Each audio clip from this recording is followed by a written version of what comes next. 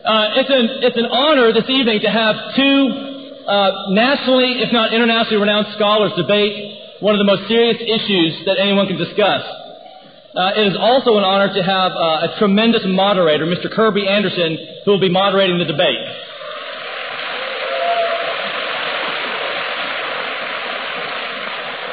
Uh, as I was saying a moment ago, Kirby Anderson um, is somebody who many of us know very well. He is the president of Probe Ministries.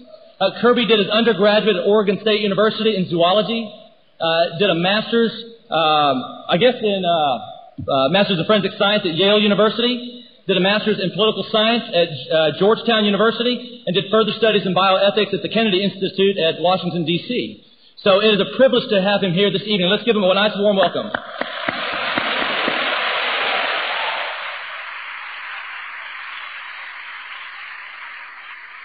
Good evening and welcome to this very important debate. Why I'm a Christian, why I'm not a Christian.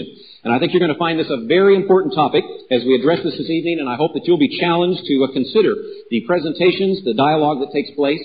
Our goal is in this uh, debate to try to educate you on what I think are some of the very important issues of Christianity and atheism by giving you an opportunity to hear both sides of an issue. Now before I introduce you to the two participants in the debate, I do want to set a few ground rules.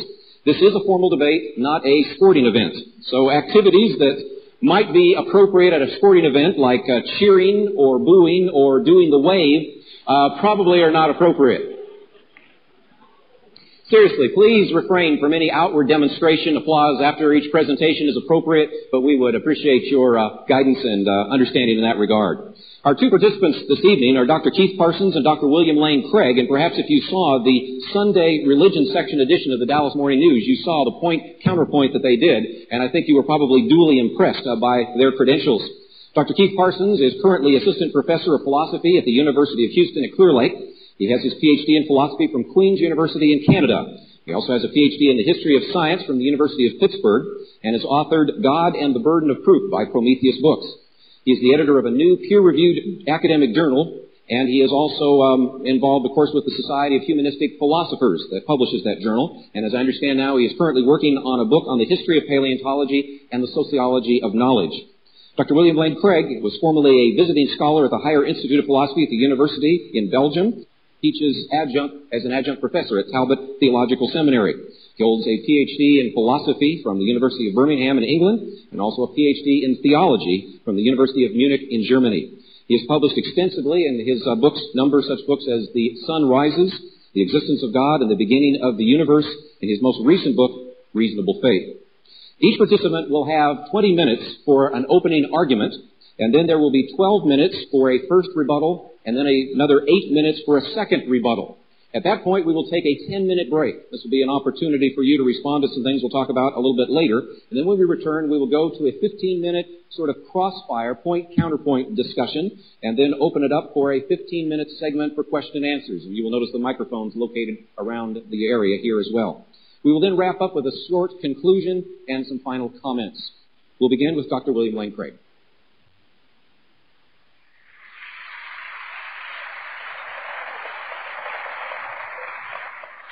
Thank you, and good evening. I'm delighted to be here tonight to participate in this important debate, and I hope that you'll find it both stimulating and challenging this evening. Now, the question put to us tonight, why I am or am not a Christian, has a distinctly personal flavor to it.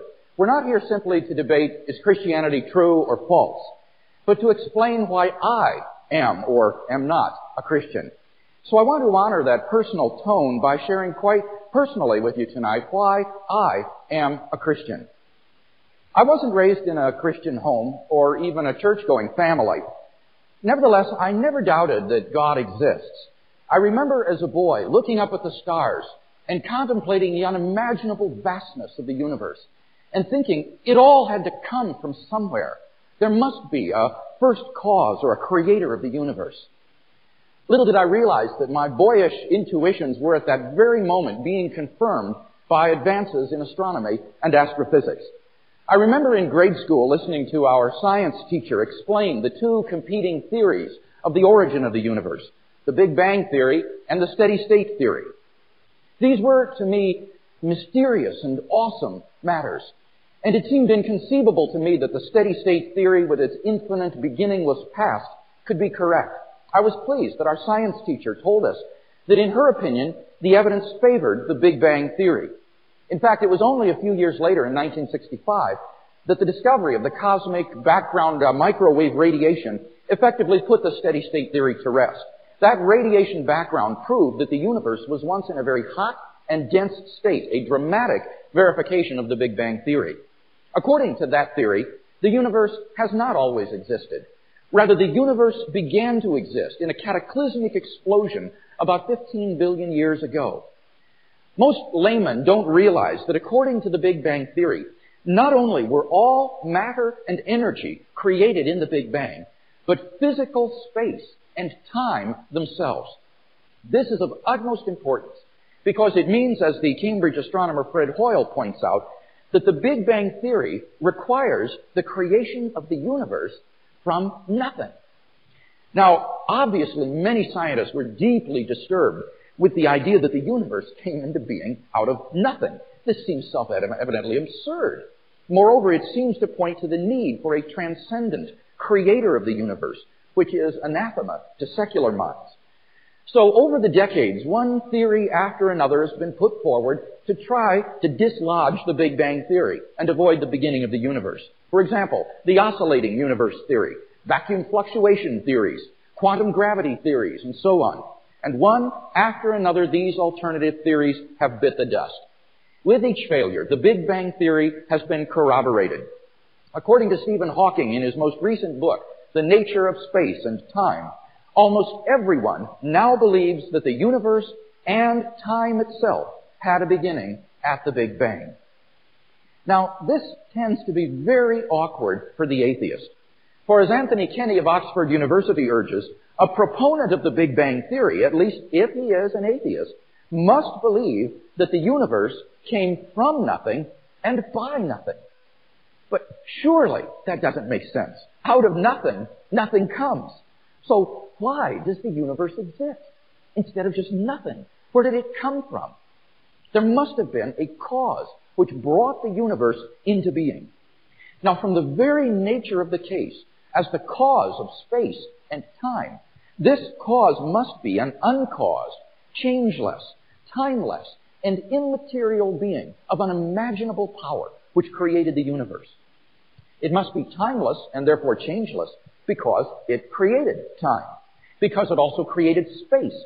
It must transcend space as well and therefore be immaterial, not physical. Moreover, I want to argue it must also be personal. For if the changeless, impersonal uh, conditions for the existence of the universe existed eternally, then the cause could never exist without its effect. If the changeless, impersonal conditions for an effect are timelessly present, then the effect must be timelessly present as well. To illustrate, imagine that the temperature, or rather the cause of water's freezing is the temperature being below zero degrees centigrade. If the temperature were below zero from eternity, then any water around would be frozen from eternity. It would be impossible for the water to just begin to freeze a finite time ago. The only way for the cause to be timeless and the effect to begin a finite time ago is for the cause to be a personal agent who freely chooses to create an effect in time without any prior determining conditions. For example, a man sitting from eternity could will to stand up. And thus we are brought not merely to a transcendent cause of the universe, but to its personal creator. And thus it seems to me that we have good reasons to believe what intuitively struck me as a boy. The universe is not eternal and uncaused, but was brought into being by a transcendent personal creator. Now, although I believed in God, nevertheless, God was not a reality in my life. He was the creator of the universe, far removed and distant from my experience. As I moved into my teenage years, I began to ask the big questions in life. Who am I? Why am I here? Where am I going?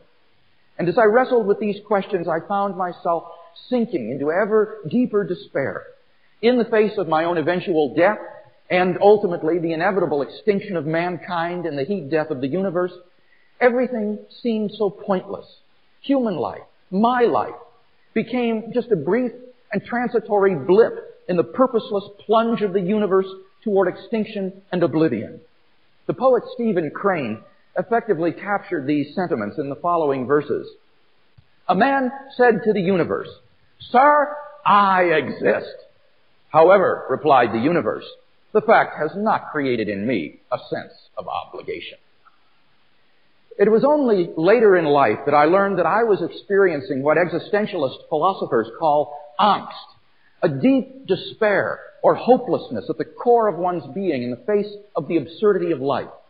The French existentialist Jean-Paul Sartre analyzed the notion of my death and showed that in light of your impending death, no matter how distant, the life you have left is ultimately absurd. As Sartre puts it, several hours or several years make no difference once you have lost eternity. If there is no immortality, then life is without ultimate meaning, value, or purpose. It is without meaning because without immortality, it literally does not matter how you live. Everything will wind up the same. It is without value because right and wrong, even if they exist, which is doubtful on an atheistic view, don't matter because your destiny is ultimately unrelated to how you live. It is without purpose because the purposes we invent to fill our lives, say becoming a doctor or an artist or a baseball player, are all ultimately futile and fleeting gestures against the inevitable fall of darkness. In my high school English class, we read Shakespeare's Macbeth. The play's most memorable lines are perhaps those of Macbeth upon the death of his wife. Out, out, brief candle, life's but a walking shadow, a poor player that struts and frets his hour upon the stage and then is heard no more. It is a tale told by an idiot, full of sound and fury, signifying nothing. In the search for answers, I began to attend a large church in our community. But instead of answers, all I found was a social country club where the dues were a dollar a week in the offering plate. And the other high school students who pretended to be such good Christians on Sunday, well, I knew what kind of lives they were really living the rest of the week.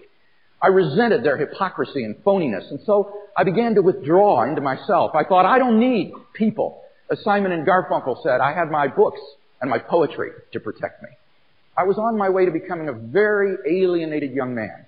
The anger and the hopelessness that I felt just ate away at me inside, so that every day became a burden then one day, when I was feeling particularly miserable, I walked into my high school German class and sat down behind a girl who's one of these types, you know, that is always so happy, it just makes you sick.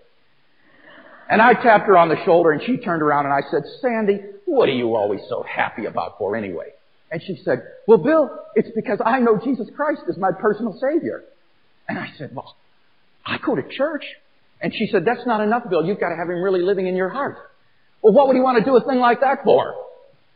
She said, because he loves you, Bill. And that hit me like a ton of bricks.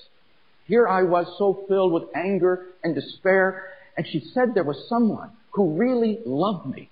And who was it? But the God of the universe. And that thought just staggered me. To think that the God of the universe could love that worm named Bill Craig down there on that speck of dust called planet Earth.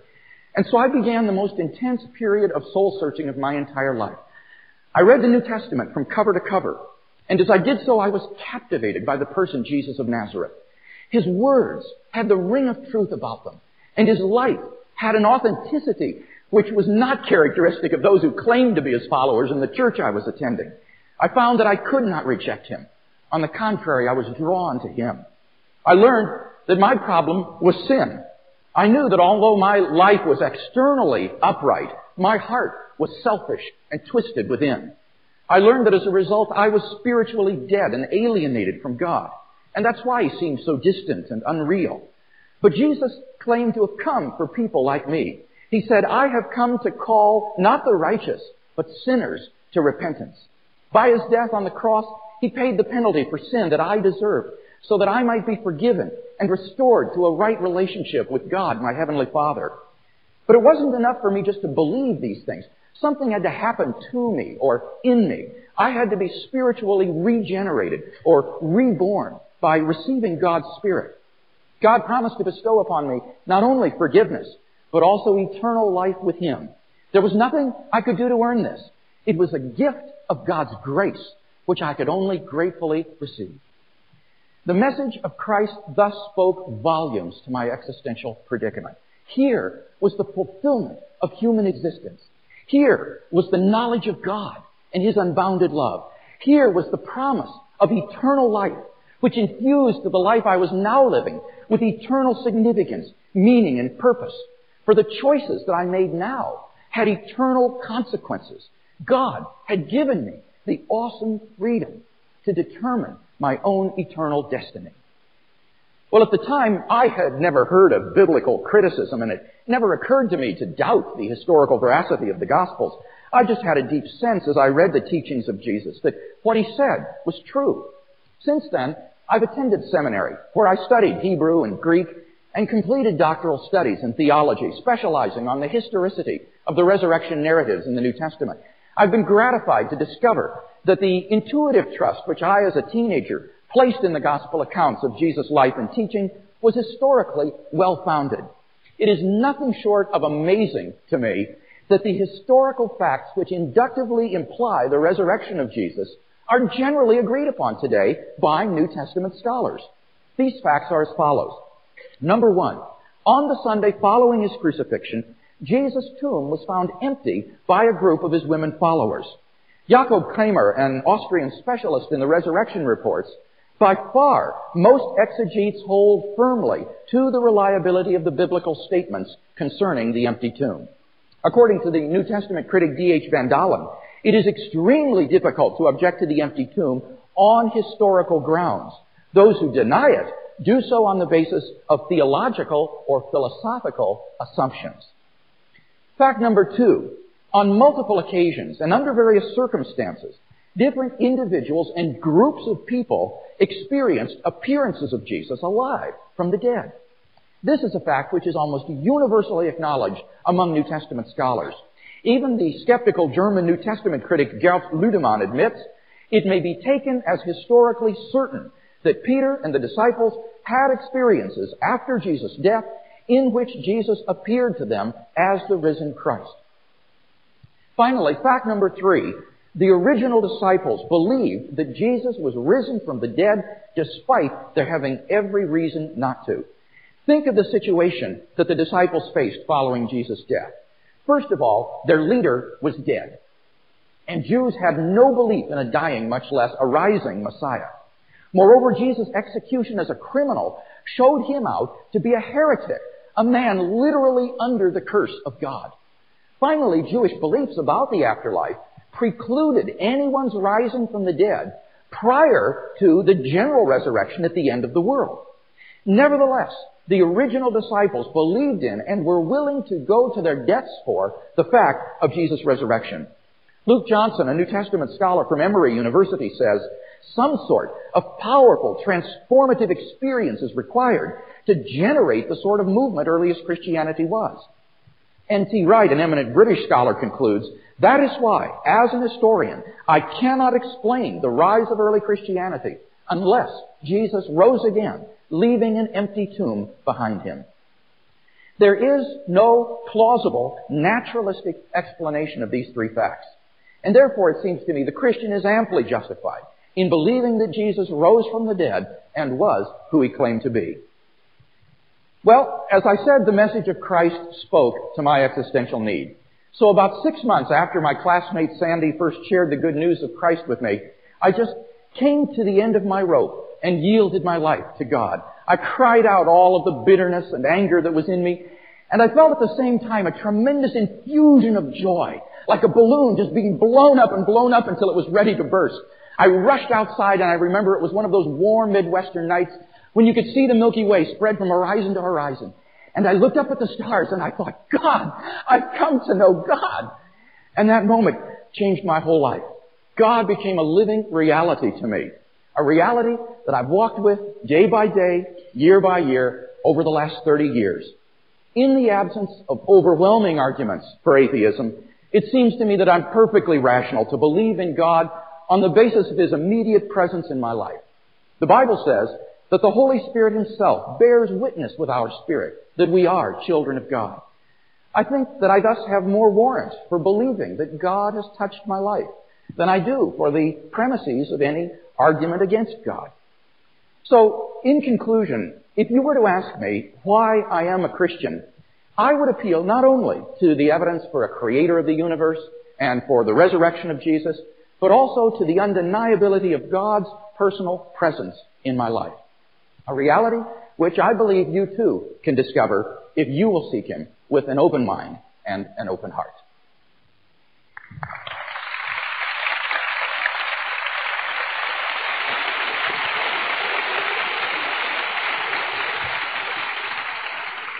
Thank you, Dr. Craig. We'll now hear the opening argument from Dr. Keith Parsons.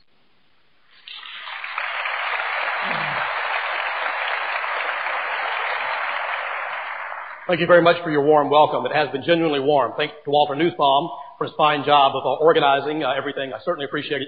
Everybody that I've met has just been wonderful. Thanks very much for being here tonight. Uh, unfortunately, I'm going to have to say some things which some of you might not like. I'm not going to pull any punches. I assume that if you're here this evening, you're willing to be here to have your faith challenged. Okay? And that's what I'm going to do. The purpose of this lecture is to give my reasons for not being a Christian. I am not rash enough to suppose that my reasons for unbelief will convince any member of this audience to surrender his or her Christian beliefs. That is not my intention anyway. I'm not here to deconvert anybody. I have two aims tonight, one weaker and one stronger. The weaker aim is to convince you that conscientious, well-considered skepticism about Christianity is an intellectually and morally respectable position.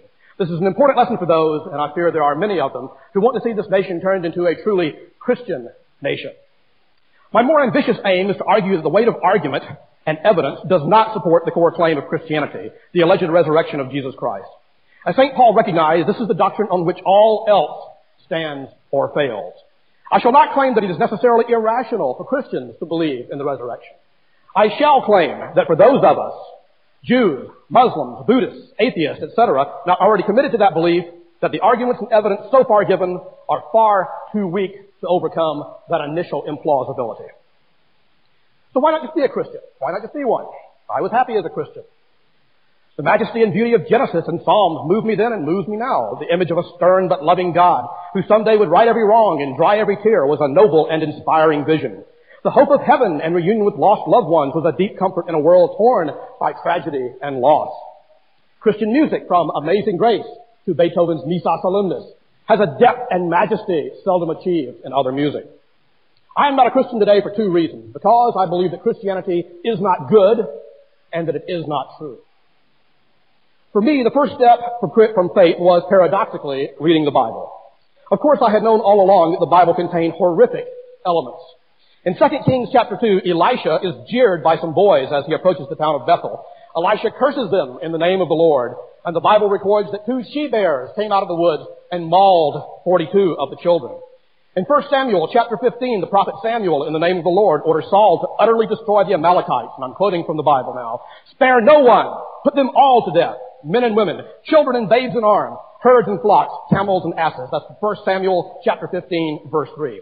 As I really began to read deeply in the Bible, I was shocked at how many atrocities I found. Could this be the Word of God? What about Tom Paine, one of the founding, founding fathers of this country? Well, here's what he had to say about it, and I quote him. Whenever we read the obscene stories, the voluptuous debaucheries, the cruel and torturous executions, the unrelenting vindictiveness with which more than half the Bible is filled, it would be more consistent that we called it the word of a demon rather than the word of God. It is a history of wickedness that has served to corrupt and brutalize mankind, and for my part, I sincerely detest it, as I detest all that is cruel. Further, pat responses by religious apologists did not convince me. I simply could not believe that the Amalekites, even babes in arms, were so evil as to merit utter extermination. Second, though I had always known that Christian history had its dark side, when I really began to study church history in earnest, I was overwhelmed at the extent of the holy horrors perpetrated in the name of Christ. Even Christian historians such as Paul Johnson wax eloquent recounting the persecutions, pogroms, crusades, witch hunts, inquisitions, religious wars, etc., whereby countless people were burned, butchered, tortured, and imprisoned by God-fearing fanatics. In his recent bestseller, Hitler's Willing Executioners, Daniel Goldhagen traces the long, disgraceful history of Christian anti-Semitism. The hatred sown in Martin Luther's rabid anti-Jewish diatribe was reaped at Auschwitz. Forrest G. Wood's book, The Arrogance of Faith, details the complicity of Christians in the genocide of American Indians and in the defense of slavery. Christian bigots today continue to promote the hatred of gay people. Again, I was not convinced by the standard apologetic line about the holy horrors. I was told that the people who perpetrated such things were not acting in the true spirit of Christ or in accordance with the true gospel message. But my friends, this rang hollow. It sounded too much like the apologetics of academic Marxists. You ever run into one of those, academic Marxists? Okay. It sounded too much like the apologetics of academic Marxists who admitted the horrors of Stalin's gulag, but then denied that the Soviet Union was a true communist society. Surely though, as Marx himself insisted, what matters is not abstract promises, but how a scheme works out in practice. In similarly pragmatic vein, Jesus said of false prophets, by their fruits shall ye know them. Indeed. Indeed. Still, you might object. Shouldn't we judge Christianity in its pure, revealed form, rather than as practiced by notoriously fallible and sinful human beings? It is the original vision that counts, not its shoddy practice. Remember, though, that the monstrous doctrine of hell is part and parcel of the alleged Christian revelation. The greatest Christian thinkers and theologians, from St. Augustine to Jonathan Edwards, exhausted their vast powers of eloquence in their lurid depictions of hell. I shall spare the audience an account of these revolting fantasies, surely the most misshapen progeny of the human imagination. Even worse, all the most orthodox theologians, Catholics as well as Calvinists, insisted that one of the greatest joys of heaven is the viewing of the torments of the damned. Surely in the words of Paine, such doctrines have served to corrupt and brutalize mankind. Cruel dogmas make cruel people. I hope that my argument has convinced you that a rational and conscientious person may doubt the goodness of Christianity, both as it is preached and as it is practiced. The Christian Bible is full of atrocities ordered or committed by God. Christianity produced St. Francis and Mother Teresa, but it also produced grand inquisitors and the authors of Malleus Maleficarum, the witch hunter's handbook. Today's Christian coalition dreams of a golden age when we truly have one nation under their God. History shows that a holy inquisition would be more likely than a golden age. Finally, Orthodox Christians to this day defend the outrageous doctrine of hell, a doctrine that represents God as an ogre, far crueler than any human despot. To me, then, Christianity is a bleak doctrine, one that has preached hatred, soaked the earth with blood, and filled the mind with supernatural terrors.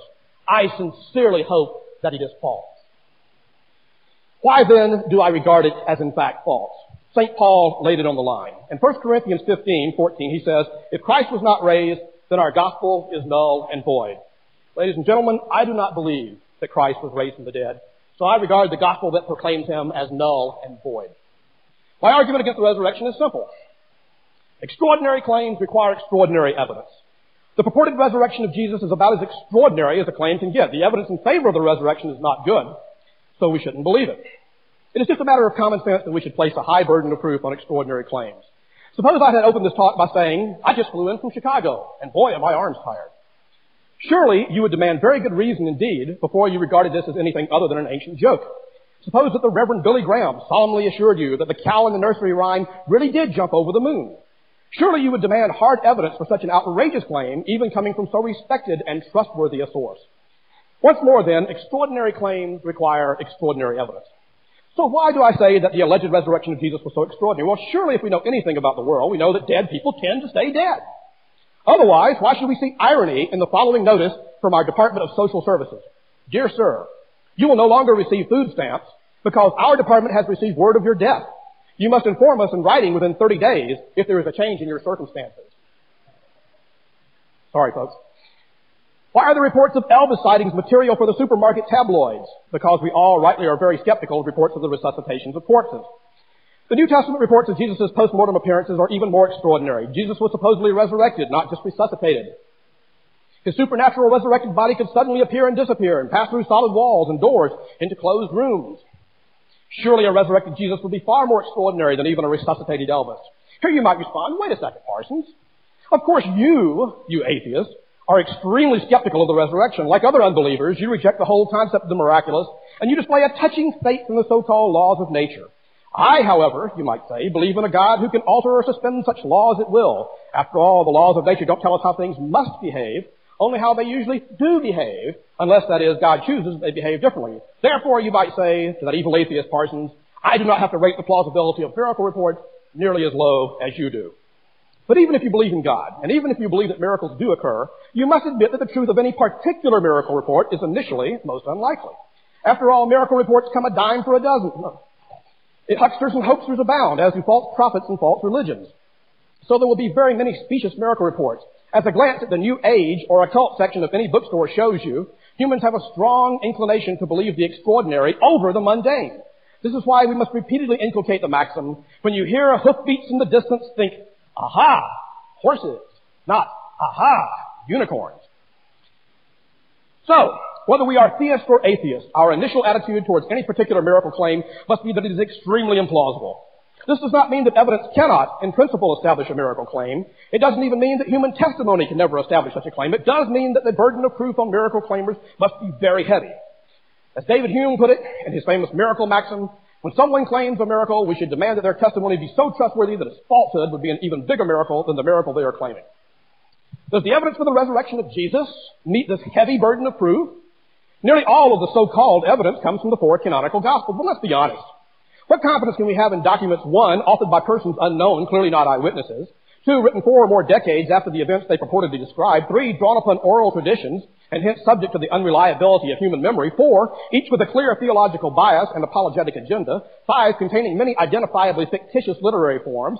Six, inconsistent with each other except where one gospel plagiarizes another. Seven, at odds with known facts. Eight, with virtually no support from independent sources. And nine, testifying to events which in ordinary circumstances we would regard as unlikely in the extreme. Well, Professor Craig believes that there are three main points of evidence that support the historical case for the resurrection of Jesus. The post-mortem appearances, the empty tomb, and the origin of the Christian faith.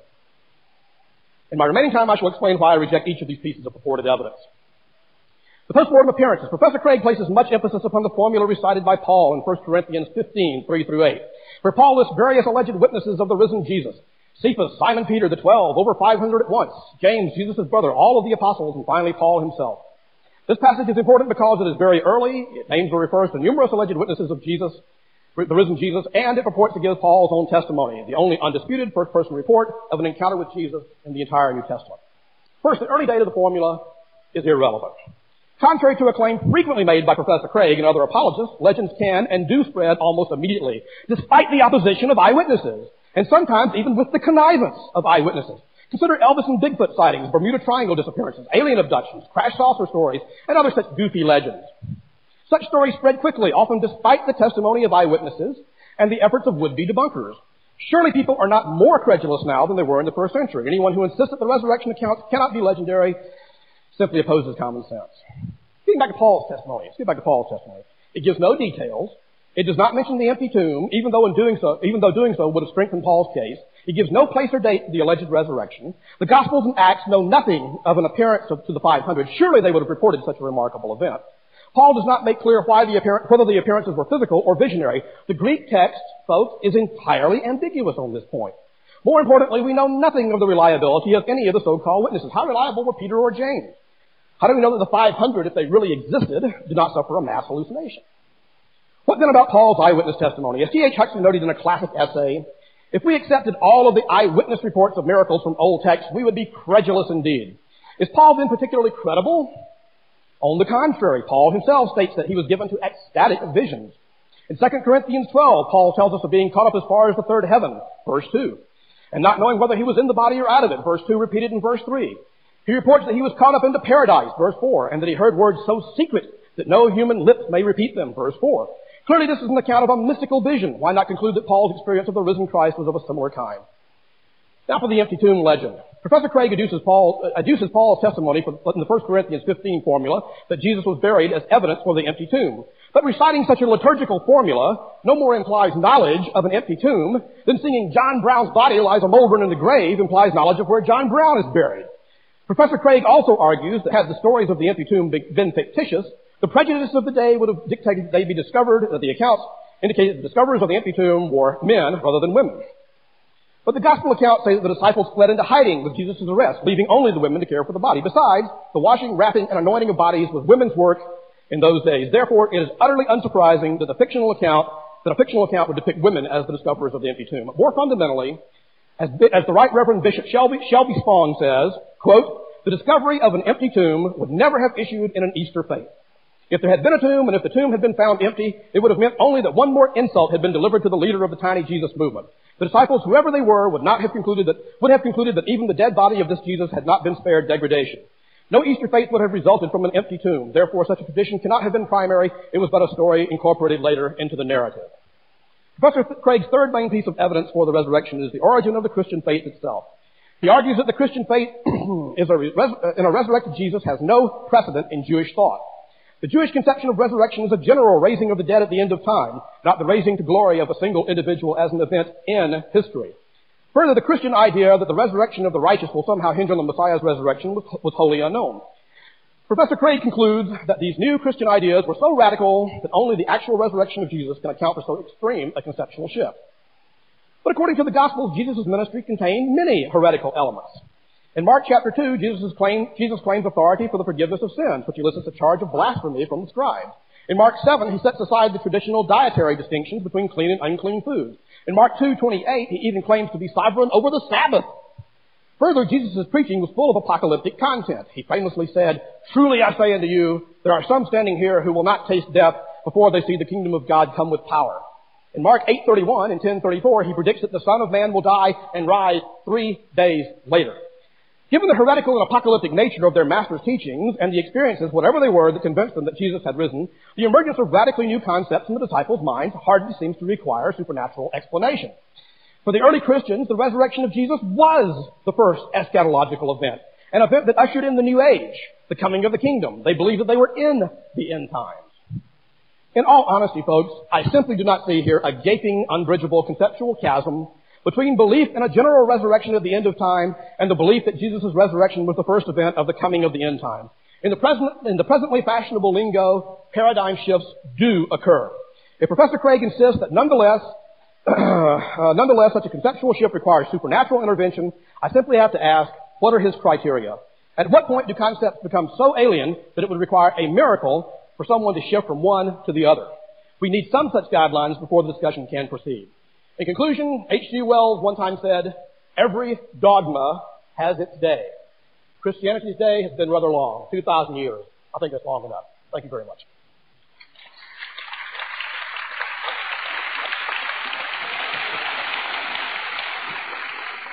Thank you, Dr. Parsons. We'll now move into our rebuttal period. The first uh, section will be two 12-minute rebuttals, beginning with Dr. William Lane Craig.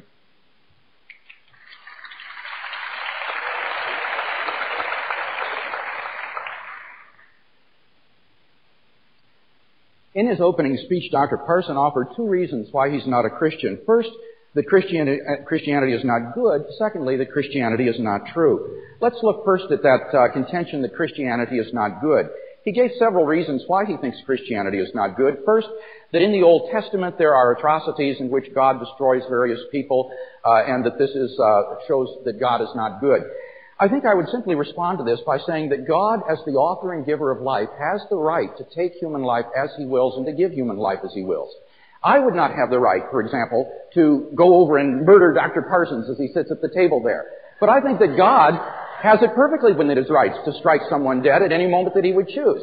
So, uh, if God chooses to take human life, I simply don't see that that is not good. What about the horrors of Christian history? Well, I certainly do agree that Christians have done many bad things down through history, but on balance, the record of the Christian faith is remarkably good.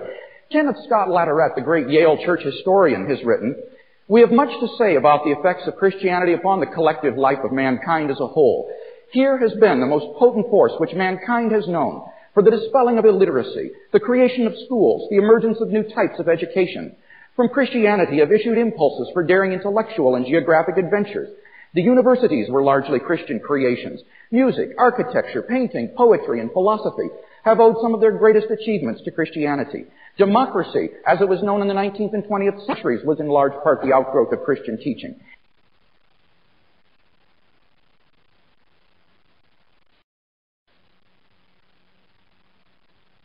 brought on by famine and for the creation of hospitals and orphanages. So that yes, there have been atrocities perpetrated in the name of Christ, but on balance, Christianity has been the most potent force for good in the history of mankind. Secondly, I would simply say that when Christians have failed to live up to Jesus' example, that that isn't an indictment of Jesus. Jesus wouldn't have been a guard at Auschwitz. Jesus wouldn't have been a persecutor of people who disagreed with him. He taught to turn the other cheek. And it's Jesus that I'm defending tonight, not the record of the Christian church which so often fails him. Now, Dr. Parsons then raised the third point that hell is an awful doctrine. Well, what I would simply say here is that hell is the result of persons who freely separate themselves from God. It is not a result of God's will or desire. The Bible clearly says God's desire is that every person should be saved and come to a knowledge of the truth, and that's why He gave His Son, so that everyone would come to know Him. The only reason that everybody doesn't go to heaven is because some people freely separate themselves from God forever. So yes, this is terrible, but it's simply testimony to the depravity of man that it would spit in the face of God and the, the gift of His grace and forgiveness. So, on the contrary, I would say Christianity is good. It is good news. It is the most wonderful news that has ever been announced. But is it true? Well, here we come to the central miracle of the New Testament, the resurrection of Jesus. And Dr. Carson says, first you've got to bear a very heavy burden of proof, uh, Mr. or Dr. Craig, because extraordinary claims require extraordinary evidence. This is a watchword of the free thought movement today that I always hear repeated. But when I think about it, I can think of almost no justification for that principle. I do not think it is true that extraordinary claims require extraordinary evidence. As Thomas Sherlock pointed out in his book on the resurrection of Jesus, it doesn't take extraordinary evidence to establish that someone is alive. That, that's easy to do. Nor does it take extraordinary evidence to establish that someone is dead. That's accepted in any court of law. But to prove the resurrection of Jesus, all you need is good testimony that somebody was alive, and then he was dead, and then he was alive again. So I don't see that extraordinary events do require extraordinary evidence. The germ of truth in this statement, however, I think, is that certain explanations are not the best explanation because they're ad hoc. They're contrived. That's the problem with saying, oh, I saw someone flapping his arms and flying about the room. It's that that is an ad hoc explanation. It's contrived. There are better explanations than that. So the question is, when you come to the resurrection of Jesus, is the best explanation a supernatural explanation or a naturalistic one? And I contend it is not ad hoc to appeal to a supernatural explanation in this case because of the religio-historical context in which that event occurred. The resurrection of Jesus is not just the resurrection of someone or anybody. It's the resurrection of Jesus who claimed to be the absolute revelation of God, who made these remarkable claims that Dr. Parson referred to. It comes as the climax of his own unparalleled life and teaching and is as it were a divine vindication of those radical claims to be the Son of God and the revelation of God to mankind. And therefore this uh, explanation, I think, is not ad hoc or contrived. On the contrary, it fits like a hand in a glove into the life and teachings of Jesus. Well, what about the specific evidence? Dr. Parsons inveighs against the Gospels on several grounds uh, about how they're based on oral tradition and uh, so forth. But at the end of the day, the fact is that compared to other sources of ancient history, the Gospels compare very well. R.T. France, who is a New Testament scholar, writes, at the level of their literary and historical character, we have good reason to trust the Gospel seriously as a source of information on the life and teaching of Jesus. Ancient historians have sometimes commented that the degree of skepticism with which New Testament scholars approach their sources is far greater than would be thought justified in any other branch of ancient history. Indeed, many ancient historians would count themselves fortunate to have four such responsible accounts written within a generation or two of the events and preserved in such a wealth of early manuscript evidence. And then listen to what he concludes. The decision as to how far a scholar is willing to accept the record they offer is likely to be influenced more by his openness to a supernaturalistic worldview than by strictly historical considerations. In other words, skepticism about the Gospels, let's face it, is not rooted in their historical and literary quality, which is very good. It's rooted in an anti-supernatural bias, and I think that that's been evident in Dr. Parsons' own remarks tonight. Now, what specifically can we say about the appearances, the empty tomb, and the origin of the Christian faith? First, with respect to the appearances, I pointed out that it is uh, universally agreed upon by New Testament scholars today that the earliest disciples did experience appearances of Jesus. Dr. Parsons simply flies in the face of New Testament scholarship. Why? Well, he says because legends can arise rapidly, and he gives the example of UFO reports, Elvis sightings, and so forth. This is just based on a misunderstanding. UFO sightings, Elvis reports, Bermuda Triangle are not of the genre of legend. Legend concerns how oral tradition being passed from one generation to another eventually gets transformed, like in the child's game of telephone, into a completely different story. And the classical Roman, Greco-Roman historian A.N. Sherwin White has said that even two generations is too short a time span for oral, uh, or rather for legendary tendencies to wipe out the hard core of oral tradition. So we're not talking here about lies, fabrications, hoaxes, and so forth. We're talking about how long it takes for oral tradition to be completely reformed so that the memory of the original events is forgotten and be replaced by something else. This typically takes centuries, as in the uh, uh, legends of King Arthur or the legends of Alexander the Great, which didn't arise until centuries after those people were dead and gone. By contrast, in the Gospels, These accounts are written within the first generation during the lifetime of the eyewitnesses, so I don't think they're legendary. Moreover, I want to point out that they are multiply attested, not simply by Paul, but also by the Gospels, where you have independent, multiple attestation of these events. And that's why most uh, New Testament scholars, unlike Dr. Parsons, believe these events really happened. Now, could they, however, have been hallucinations, as Dr. Parsons suggests? I think not. Number one, hallucinations cannot explain the physicality of the appearances. They were physical, as narrated in the Gospel. Two, the number and the various circumstances of the appearances preclude hallucinations. Jesus wasn't just seen one time, but many times. Not just by one person, but many people. Not on just one occasion, but under many occasions. Not just by individuals, but by groups. The hallucination hypothesis just can't be stretched to accommodate that diversity. Thirdly, the disciples weren't psychologically disposed to hallucinate. They had no expectation of seeing Jesus alive again, and I'll say something more about that in a minute. Fourthly, hallucinations would never have led to belief in Jesus' resurrection. It would at most have led them to believe that Jesus had been assumed into heaven, and that's where they saw him, in Abraham's bosom, not that he had been literally raised from the dead. And in any case, hallucinations, fifthly, cannot explain the empty tomb. Well, now, what about the empty tomb? Here, Dr. Parsons says it's not surprising the empty tomb would be discovered, uh, or, or the narrative would have women discover the empty tomb.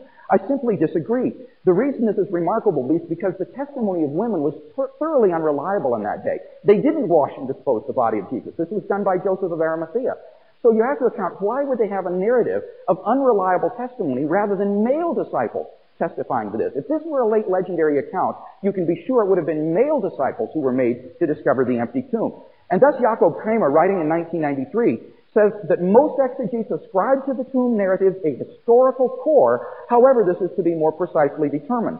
Raymund Schwager in 1993 says, in contrast to the legend hypothesis, it has recently become usual to assess positively the behavior of the women uh, with respect to Jesus' death and on Easter morning. So I think this is a good reason to accept the empty tomb as most uh, New Testament scholars do. Finally, the origin of the Christian faith, he says, maybe they came up with this idea because Jesus predicted his resurrection.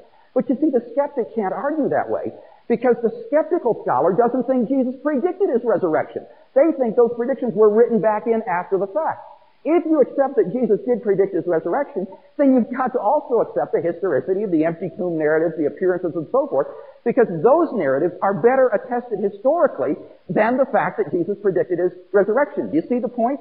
If you accept the predictions, then a fortiori, you've got to accept the empty tomb and the appearances. And thus I think we have good reason for believing that Jesus rose from the dead and was who he claimed to be.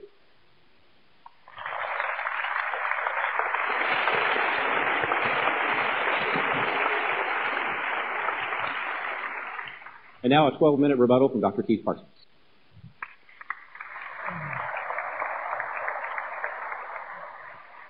Okay, thanks. I would like to begin by addressing a couple of points that Dr. Craig made in his opening speech, which I didn't address at that time. First of all, Dr. Craig indicated that he thinks that life is meaningless without belief in a personal God. At least that's how I understood him, that unless you believe in a personal God, somehow your life is meaningless. Folks, I'm afraid to say that I'm going to have to be rather dismissive with respect to that claim. Maybe it will be justified at greater length in a little while. Uh, is he honestly saying that Bertrand Russell led a meaningless life? That, that Spinoza led a meaningless life? I should have such a meaningless life. Is he saying that Einstein, who did not believe in a personal God, led a meaningless life? Uh, he must be he must be defining meaning in some way other than we normally do. If so, I hope that he would uh, elucidate on that point. Also, Dr. Craig appealed a great deal to personal experience. He has had a personal, overwhelming, born again experience of a living God. Well, what about those of us, including myself, that have had an experience of searching for God and not finding? Honestly, openly, earnestly searching and not finding. There are many people like me. Uh, all that I can understand that Dr. Craig can do is just simply deny that there are people like me or that my experience is genuine. And if he denies it, I'll just reassert it again. Because I stand on that just as much as he stands on his claim to personal experience. I have just as much right to appeal to personal experience as he does. Okay, let's take a look at some of the other uh, things which he has uh, which he has said in uh, response to uh, my opening one. Uh, first of all, uh, he's talking about some of the out some of the stories they have in the Old Testament and other places in which it says God has the right to kill human beings. My friends, I must just expressed shock at this. God has the right to be a homicidal maniac to kill human beings whenever he wants to. Folks, let's use a thought experiment. That's what we do in philosophy. We have thought experiments. If you created a race, let's say, of sentient robots and you were their creator, would you have a right then to slaughter them at will? I think all of us would say no. We have no right to take away the lives to slaughter sentient robots if we were to create them. What right then does God have to be a homicidal maniac? Uh, consider some of the other things. He talked about the uh, outrageous things which uh, Christians have done through uh, uh, history and how this is counterbalanced by the many good things.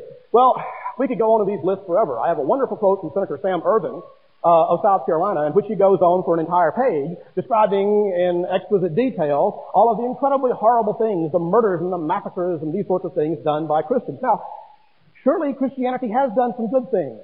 Many other forces in the world have done good things. What right does he have to say that Christianity is the greatest force for good in the world? What right, how does he justify that? What right has he got to claim that? I absolutely see no justification for that at all. Uh, but it's even if Christianity has done some good things, remember Christianity is supposed to be the answer. It's supposed to make, uh, it's supposed to be the answer for the world. It's supposed to be the way that we all should live. But once again, as Jesus himself said, by their fruit shall you know them. And there's some pretty stinking fruit out there, I'd have to say.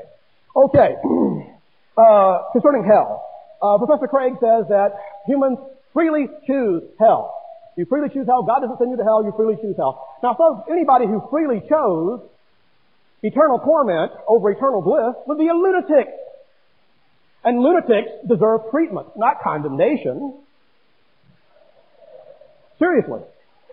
Uh, so I'm going to have to see some justification for this that uh, that uh, they, and even if we freely choose to rebel against God, again, why should God attach so horrible a penalty to it?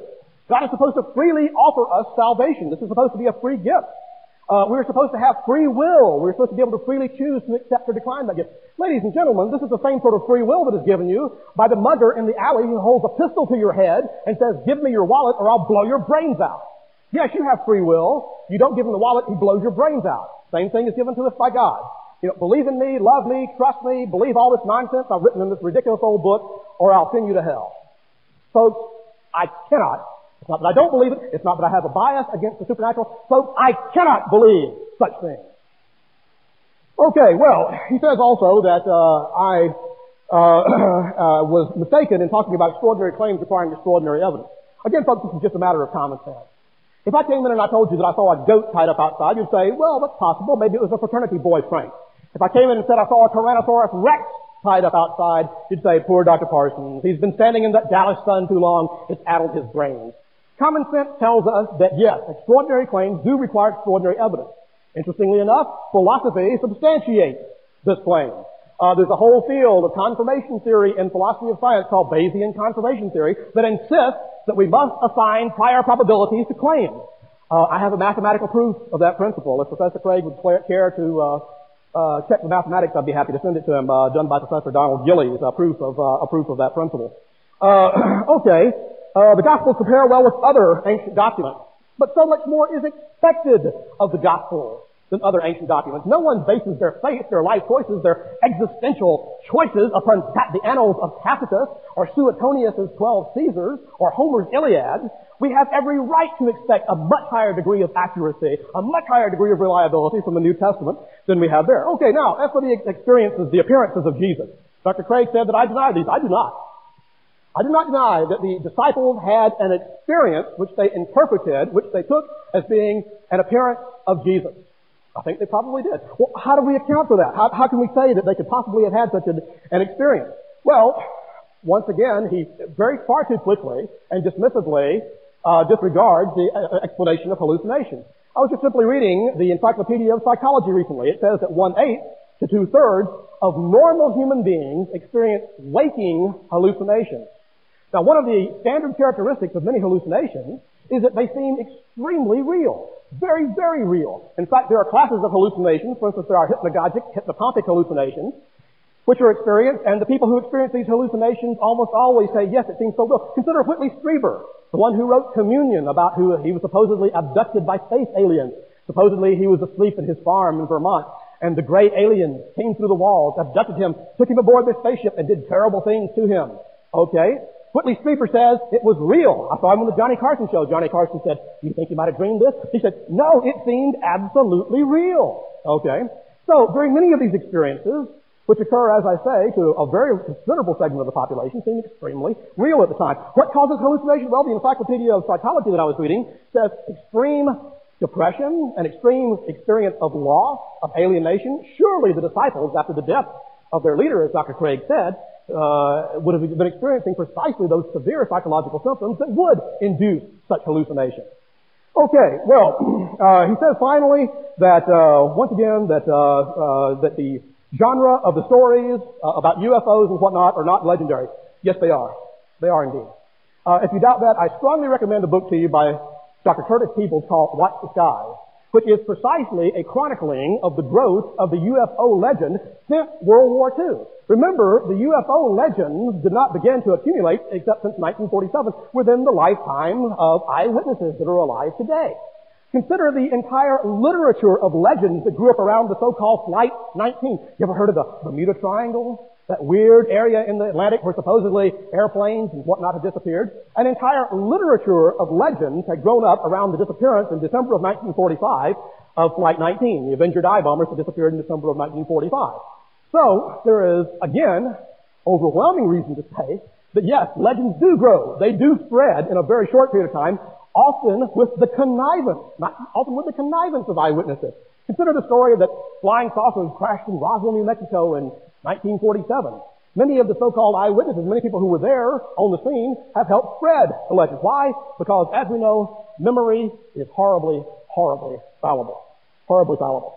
Finally, Dr. Craig said that uh, the disciples, after they had an experience of the risen Jesus, would only have thought that he had been taken up into uh, heaven immediately and not had been resurrected. Once again, Jesus' entire ministry was a ministry in which he challenged the Orthodox establishment. Everything in the Bible which reports the tradition says that he was an, an unorthodox, a heretical figure. Uh, besides, the entire zeitgeist of the time, the entire period that Jesus lived was a period of overwhelming apocalyptic expectation. Overwhelming apocalyptic expectation. I will simply have to reiterate my claim that I made earlier. I do not see an unbridgeable conceptual chasm between belief in the resurrection of the dead at the end of time and the belief that the resurrection of Jesus was the first eschatological event initiating the new age, initiating the eschatological age. Okay? Again, I demand of Dr. Craig, if he insists that this is uh, far too great a conceptual shift to be achieved naturalistically, what are his criteria? How can we tell when we have something which is so great that it cannot even be a paradigm shift? Okay, well, I think that pretty much sums up my responses so far. Thank you very much.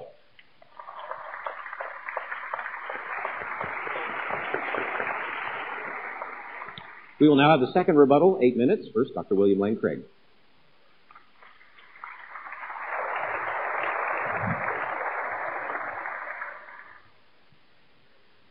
Let me begin by reviewing those reasons that I offered in my first speech for why I am a Christian and see how Dr. Parsons responded. First, I offered the evidence for a creator of the universe, and it's remarkable that nothing has been said about this in tonight's debate. It seems to me that we have every reason tonight to believe that there is a personal creator of the universe who brought the universe into being. And that's especially relevant then when we come to assess Jesus' claims to be the personal revelation of this God. Uh, I think it makes those claims even more credible. Uh, then I offered the evidence for the resurrection, and we'll say something about that in a moment.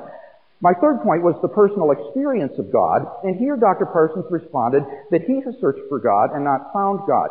Well, let me respond in two ways to that. First of all, that doesn't do anything to invalidate my personal experience of God. That doesn't do anything to show that God hasn't touched my life and that therefore I'm not justified in believing that God exists on the basis of that experience.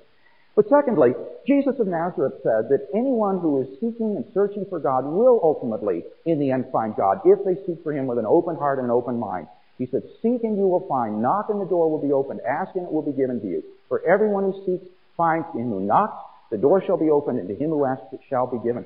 So I would just encourage Dr. Parsons to keep on seeking, to keep on knocking, to keep on asking, and I believe that God will answer that.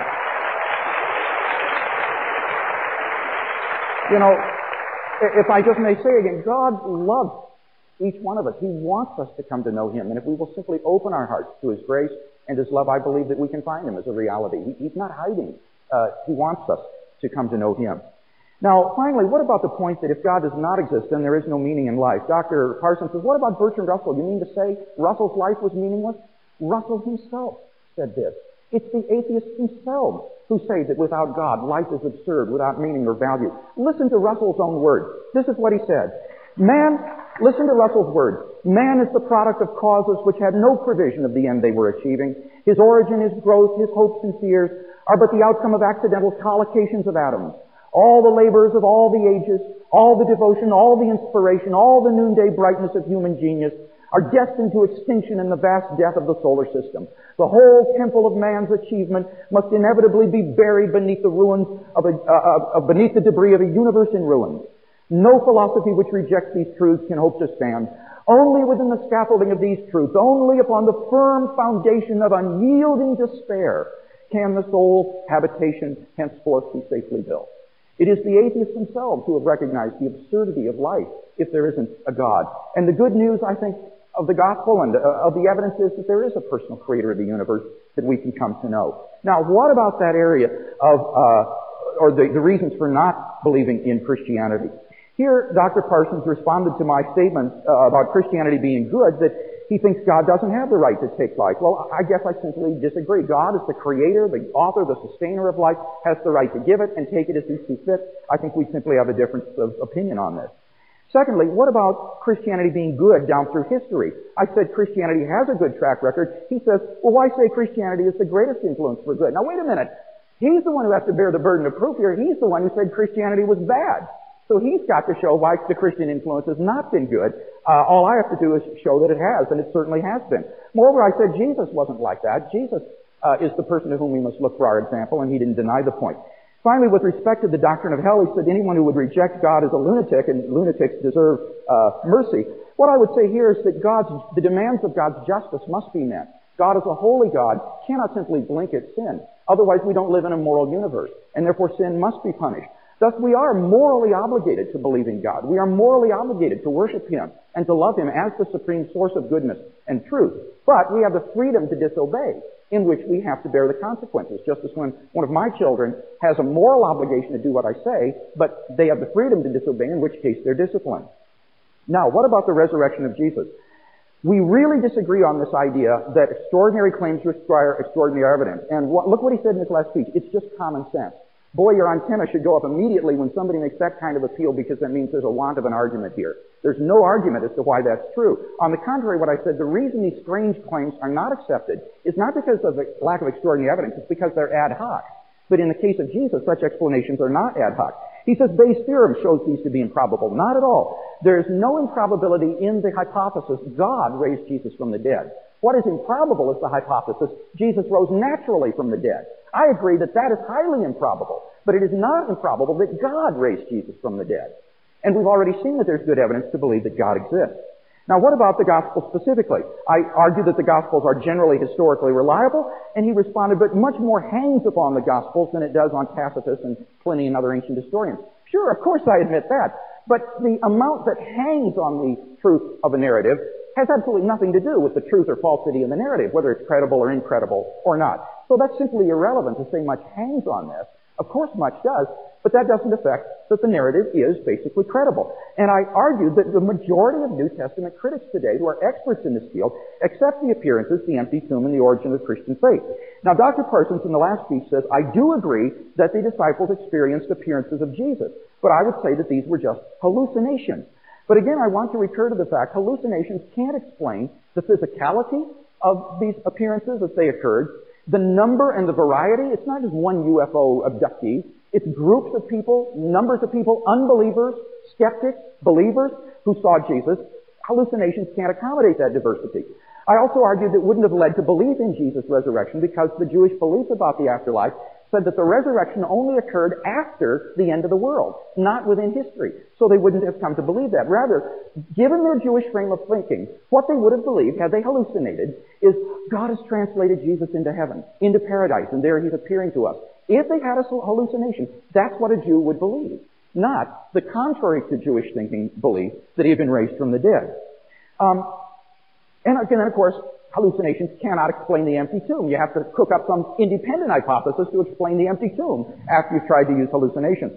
What about the empty tomb? I, I, don't see that he responded to my points about how it's surprising that women would have discovered the tomb. Let me just mention a couple of other points in favor of the empty tomb story. Number one, it is found in a very old source, which is used by Mark, our earliest Gospels, and that mitigates the possibility of legendary development. Secondly, it lacks any signs of legendary development compared to, say, the apocryphal accounts. Is that a zero? Oh, so I'm out of time. Okay. Uh, and finally, the Jewish polemic uh, earliest propaganda presupposes the empty tomb. They said the disciples stole the body, which presupposes the body was gone. So I think we have good reason to believe in the resurrection of Jesus and, and uh, that he was who he claimed to be.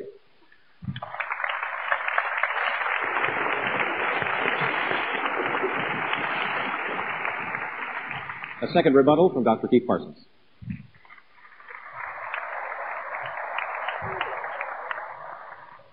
Uh, Dr. Craig began by uh, wondering why I did not address the issue of uh, God being creator of the universe. The reason why is that has nothing to do with what we're talking about here this evening. The issue this evening is Christianity. One may be atheist, as Jews and Muslims are, and believe that there is a creator of the universe without believing in Christianity. If Professor Craig wants to schedule a debate with me on atheism versus theism in which we discuss this issue, I am open for such an arrangement at any time in the future. I'll be happy to discuss the creation. Uh, I'll be happy to discuss the fallacies and the sophistries and his various arguments there uh, at some future time. Let's get back to personal experience. Uh, personal experience, he says, uh, my lack of experience does not uh, indicate that uh, his experiences are invalid. But remember, once again, in his all of his speeches and all of his apologetics, Professor Craig offers his personal experiences as evidence for people like me, as apologetics. Okay, it's not simply that he's validating his own personal experience. He's offering it as, as evidence, something that I should take seriously, that I should believe. Why? Why should I? Why should I? Why should I take that more seriously than people's experience of ghosts, demons, leprechauns, whatever? Uh, I see no reason why. Now, once again, he says, and I noticed it got some applause, uh, he said that Jesus says, seek and ye shall find. That's what Jesus says. Well, I thought I didn't find, so Jesus is wrong. Okay, simple as that. Uh, so. Okay, uh, then he quotes selectively from Bertrand Russell about the meaninglessness, meaninglessness of life.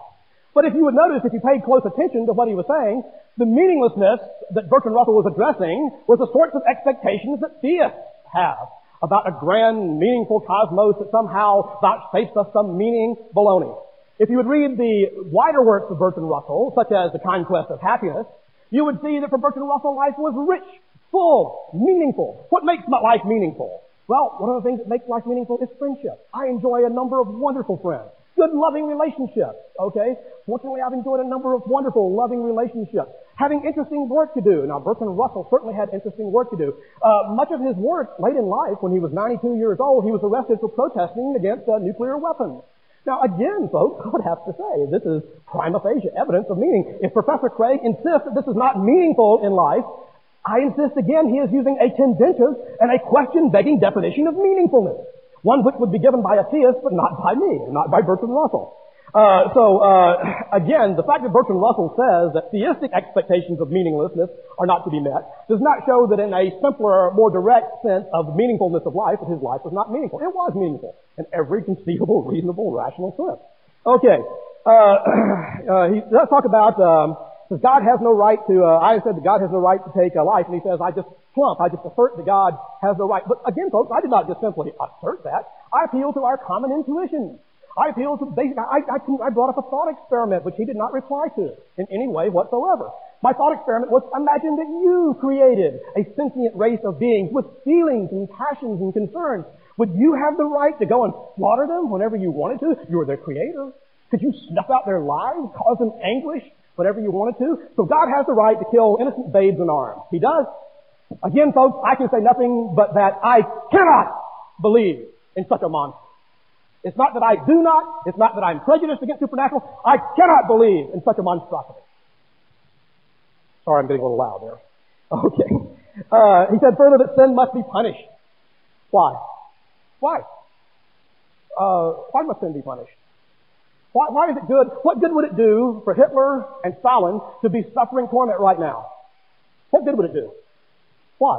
Well, I mean, what good does it do to, just because someone has committed a terrible, atrocious act, why then inflict pain upon them after the act has already been done? Why do we have punishment? We have punishment because we want to keep people from doing terrible things. That's why we have punishment. A purely retributive idea of punishment is barbarous.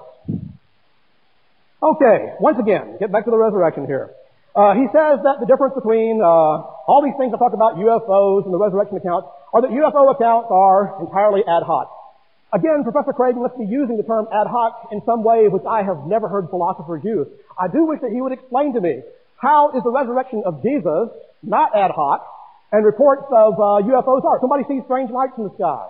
These lights do funny things. They zip and they move and they, uh, you know, seem to defy the laws of uh, physics, etc. Why not say that these are extraterrestrial spacecraft?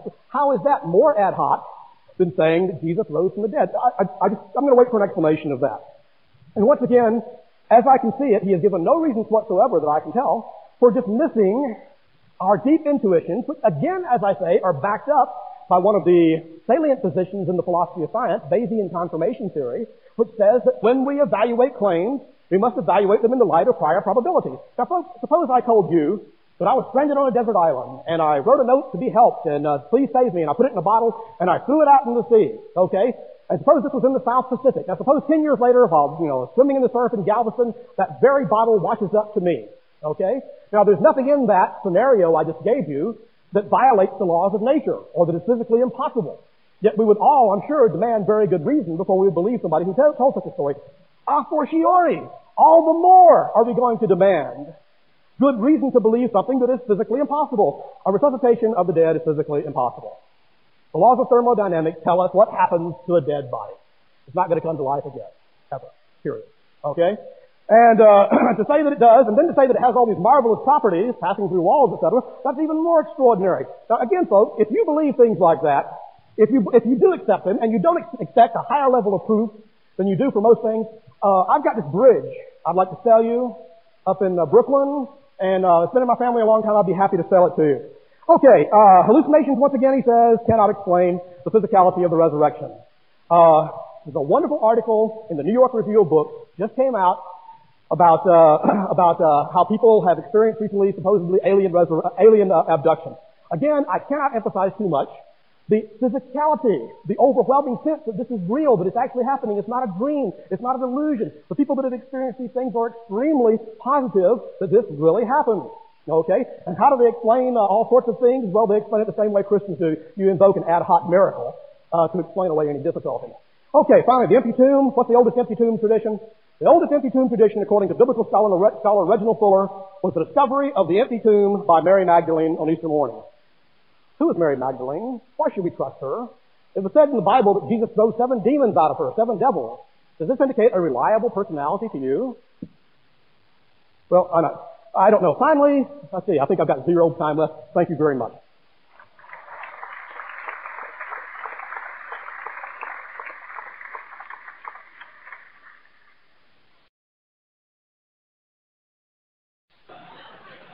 question and answer. We have some mics that are laid down on the aisles, these two aisles. Sorry about you guys that came in late. It serves you right.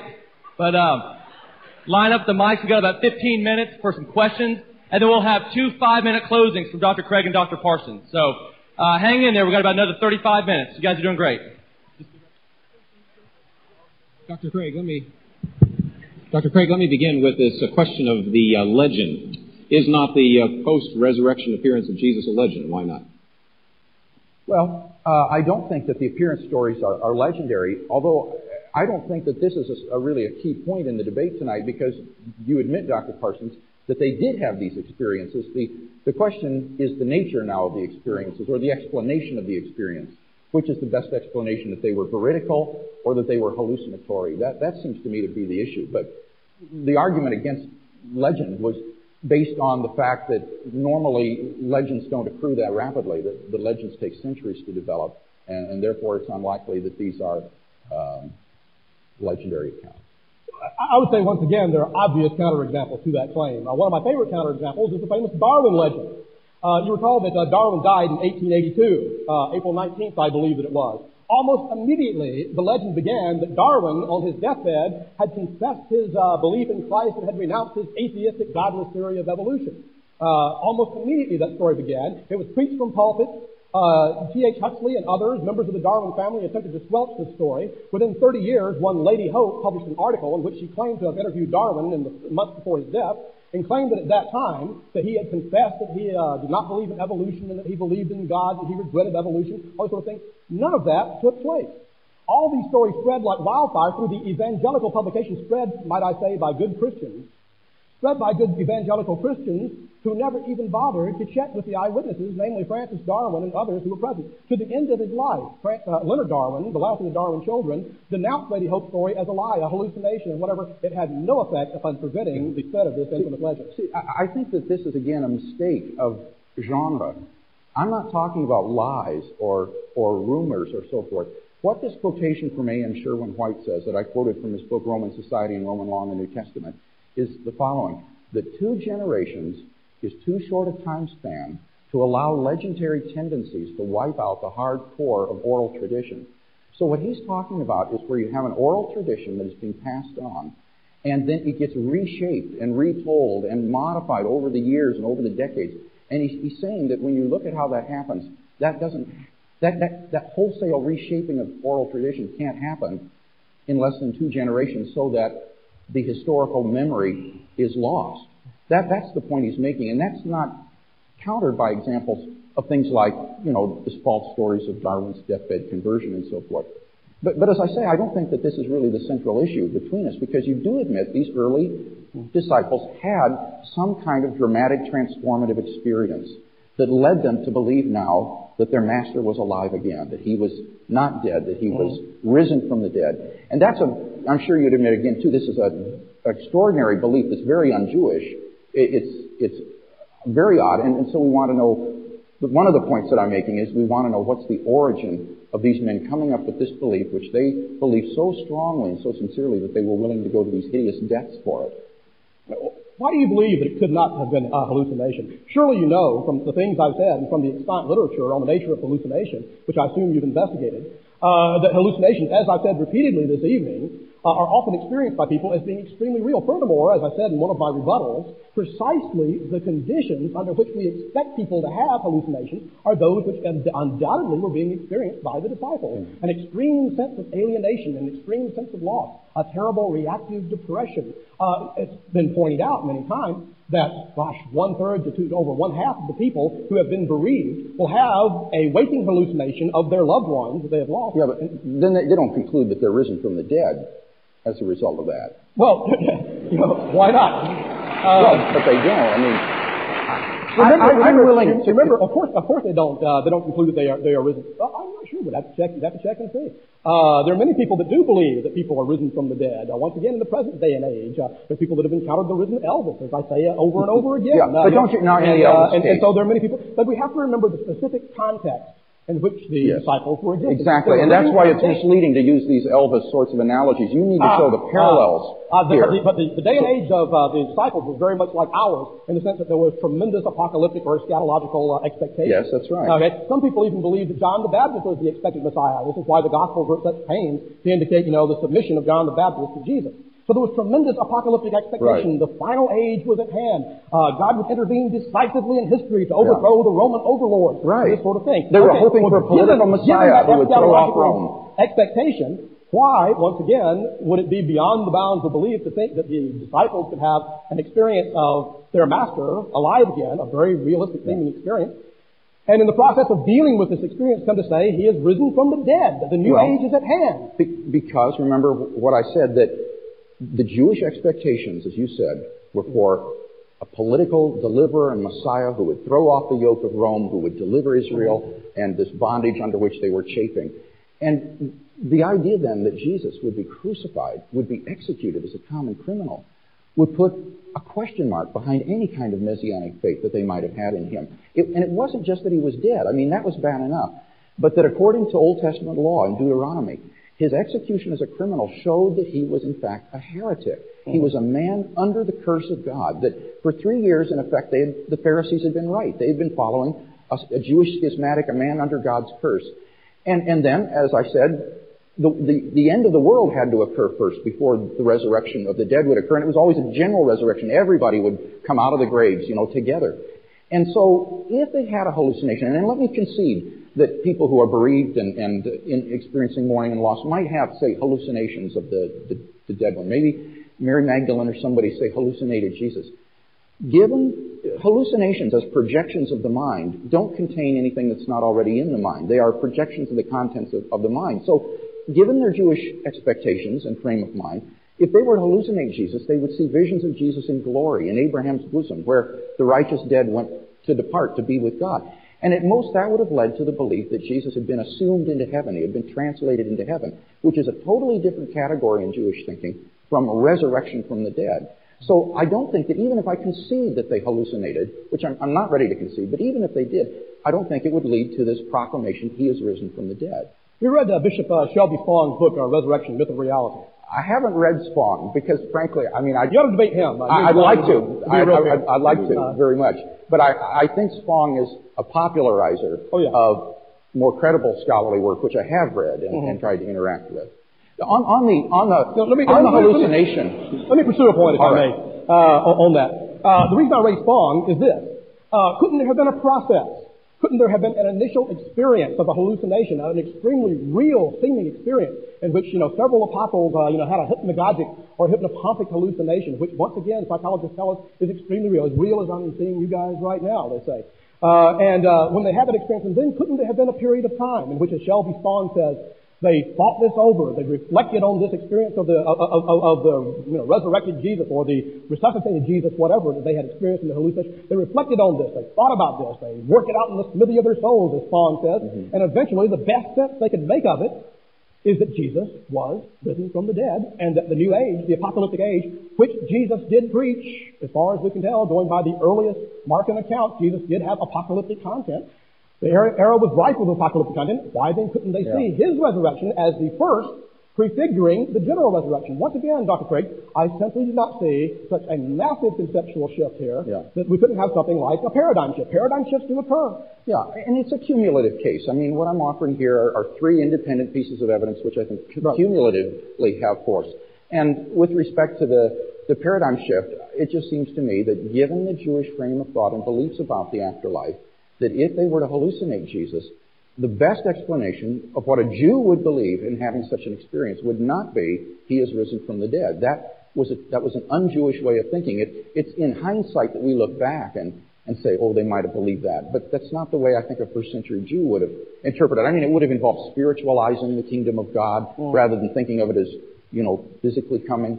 And as I said, I'm not prepared to grant that these were hallucinations because you, you, can't show any hallucination that fits the model of the resurrection appearances in all respects. And you might pick one hallucination that fits one aspect. Here's another hallucination that fits another aspect. But there isn't anything that fits all of these in terms of the diversity, the range of people involved, and, and so forth. I mean, for example, James, Jesus' younger brother, we have good reason to believe he was not a believer in Jesus during his lifetime. And yet we know also we have good testimony that he was a firm believer and leader of the New Testament church afterwards. Now, how do you explain the fact of James' conversion from being an unbeliever to being prepared to die? And he did die. Josephus tells us James died for his belief that his older brother was the Lord. Now, what would cause you or me to believe your brother is the Lord? You know, apart from what Paul says in 1 Corinthians 15, then he appeared to James. And you can't write that off as hallucinatory because James was an unbeliever. Hmm. And similarly, Paul, you know, was an unbeliever. So it's this diversity that I think makes the hallucination hypothesis less credible. Can we come to some claims? You had talked about Okay. the idea of extraordinary claims require extraordinary Yes, evidence. indeed. Question I've got is, what would that extraordinary evidence be in the first century? You didn't have video cameras, you didn't have scientific tests. So what would that look like if you were looking for extraordinary evidence? What would, gosh, you know, that makes it especially difficult, of course, right? That makes it especially difficult in, in, in uh, justifying any miraculous claims from, uh, from those days. And I think that's not a problem for me in any sense at all. That's a problem for the people who are claiming the miracles. The paucity of evidence, you know. Uh, if there had been a video camera there at the, at the uh, door of the tomb, you know, and we could see the angel coming down, rolling aside the, uh, the, the big stone, that sort of thing, uh, well, I would say probably first of all, it was made in the Walt Disney Studio. That would be my first hypothesis. Uh, you know, that uh, Steven Spielberg had something to do with it. You know, Gospel of Matthew is incredibly Spielbergian. You ought to make a movie of it. Okay, but uh, you know, that's the uh, that would be my first hypothesis. But you know, you raise a legitimate issue. But you know, I simply have to point out that's not a problem for me. That's a problem for anybody who wants to claim a miracle. T. H. Huxley, in a marvelous classic essay written in 1890 something, uh, he said, look, there are all sorts of sources that we have from ancient times that include eyewitnesses saying, I was there when Charlemagne cured the leper. Okay? If we believe all those stories, we would be incredibly credulous people. Remember that wonderful thing in Shakespeare? Uh, I love the quote from Shakespeare from uh, Macbeth. Remember the thing in Shakespeare in Julius Caesar in which he's talking about, uh, you know, that uh, against the Capitol I saw a lion walking and I saw a common slave, you know him well by sight, uh, that he was emanating fire, this sort of thing. Well, again, these sorts of stories came from sober, secular, pagan, or whatever historians of ancient times. If we believe all of those stories, once again, uh, I've got some Dr. Parsons' patent miracle cure that I would like to save you. I just need to go, go out and bottle it up, you know, for a few minutes and bring it back into you, and I would like to tell you that. We would be incredibly credulous to believe all this. Well, I- these cases have to be assessed on a case-by-case basis. Of you course. can't dismiss the resurrection narratives on the basis that some other spurious miracle stories have occurred. You have to assess each one on its own merits. And what I fear from your response is that this watchword, extraordinary claims require extraordinary evidence, is really just an excuse for an a priori rejection of the miraculous because you, you weren't, or you didn't give any sort of evidence that would satisfy you with respect to one of these extraordinary claims. It made it sound like to me you were saying that nothing would convince you. Oh, matter no, no, all sorts of things would convince me. well, with respect to the resurrection, though, I mean, you, you even said if there was a video camera, you'd say it was a fake stone that was Mm. rolled away. You know, I mean, what, what sort of, what That'd be, the, sort of, would be the more reasonable hypothesis. the but, well, but see, that's what I fear. It is. It's Uh-huh. just an, it's just an a priori rejection of the miraculous here. You're, you're not, there isn't any kind of literary testimony, historical testimony that Mm-hmm. could convince you.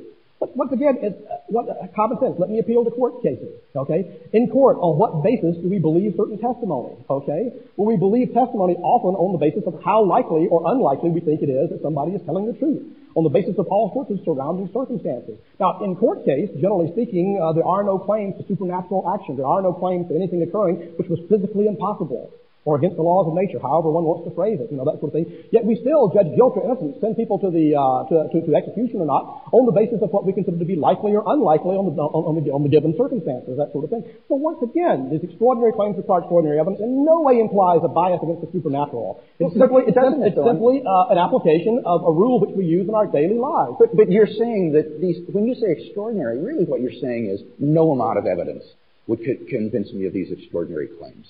Sure it would. If uh, tomorrow morning, immediately after breakfast, suddenly there was an earthquake, you know, and a silvery light shone in the sky, and the leaves dropped from the trees, and I dashed outside, and there, towering over us like a hundred Everest, was this giant figure with lightning playing around his Michelangeloid face, and he pointed down and saying, "Be assured, Keith M. Parsons, that I do in fact exist, and I'm sick of your logic chopping." Uh, Dr. Craig, I would join you in the pew of the church, in the front pew of the church the next Sunday. Uh, You, uh, so, uh, you know, Be going to the question and answer period. We're going to go to the question and answer period, so be going to the microphone. You, you don't think down. you don't think that you would have said, "Boy, I was having a hallucination."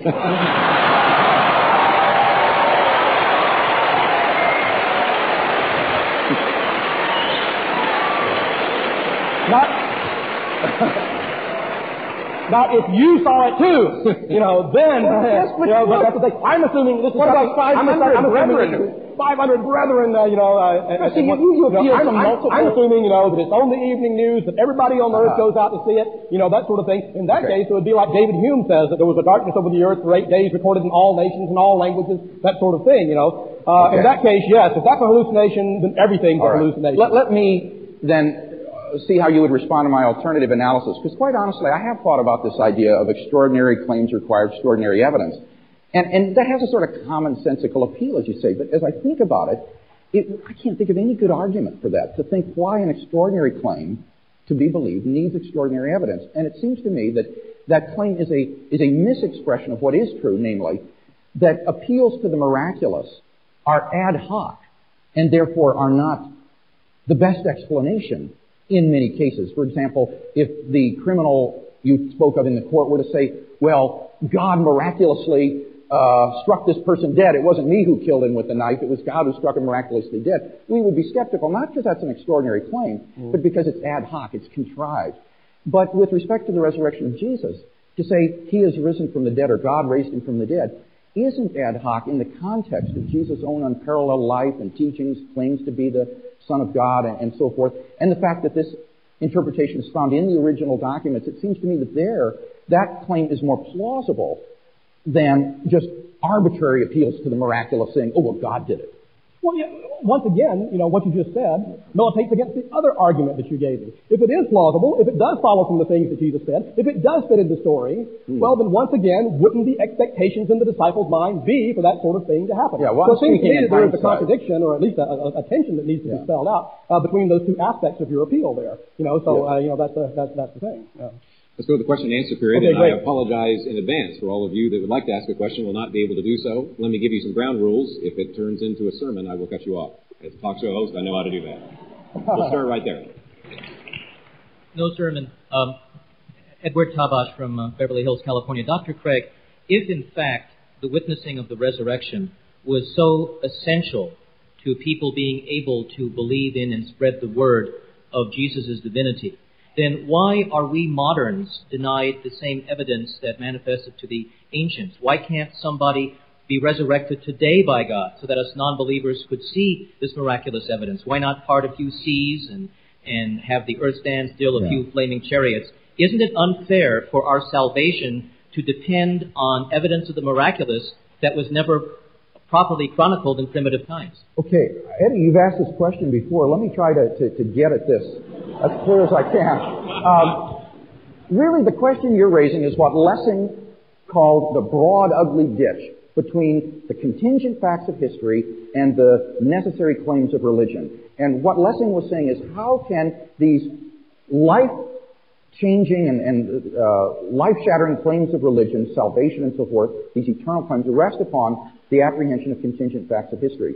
And I agree that that's a problem, and that is why I am not an evidentialist. I do not think that uh, you have to have historical evidence for the resurrection of Jesus or the Gospels and so forth to rationally believe. On the contrary, I think that it is on the basis of the inner witness of God's Spirit that we have adequate grounds for knowing the Christian faith to be true and for rationally believing in Christ, just as I did when I first heard the message of Christ as I described. So I would answer Lessing with what Kierkegaard said, that through the Spirit of God, every generation is contemporaneous with the eyewitnesses.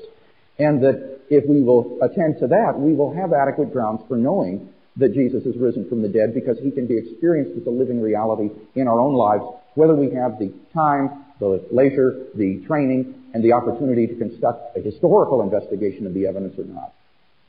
Okay, I believe I get a uh, response now. Uh, Eddie, I think you're right. Uh, I mean, if, if our eternal destiny depends upon uh, whether we believe in God or not, He owes us some flaming chariots. He owes us some burning bushes. He should make it, I mean, if we're going to spend eternity in hell if we don't believe in Him, then He should make it blindingly, undeniably obvious that He exists. He has a responsibility to do so. We're important enough. Uh, eternal punishment is bad enough. Uh, he ought to make it uh, so that you know we weak human beings with our powers of self-deception cannot fool ourselves. I want a burning bush. Question back here.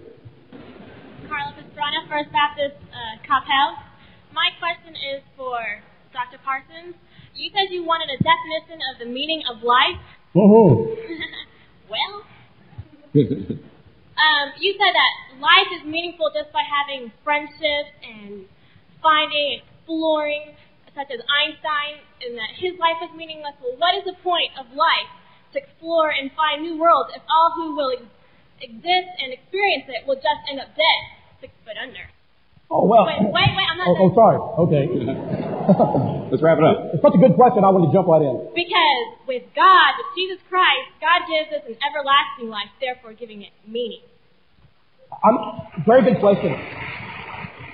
Let me say, though, that I take precisely the opposite view. Martin Heidegger, who was a German philosopher that said almost everything, almost everything he said was incomprehensible, said one thing that I really liked. He said, it is the fact that life is finite. It is the fact that we shall die that gives our life meaning, that gives us the responsibility of creating meaning in our lives. Yes, we only live 70 years.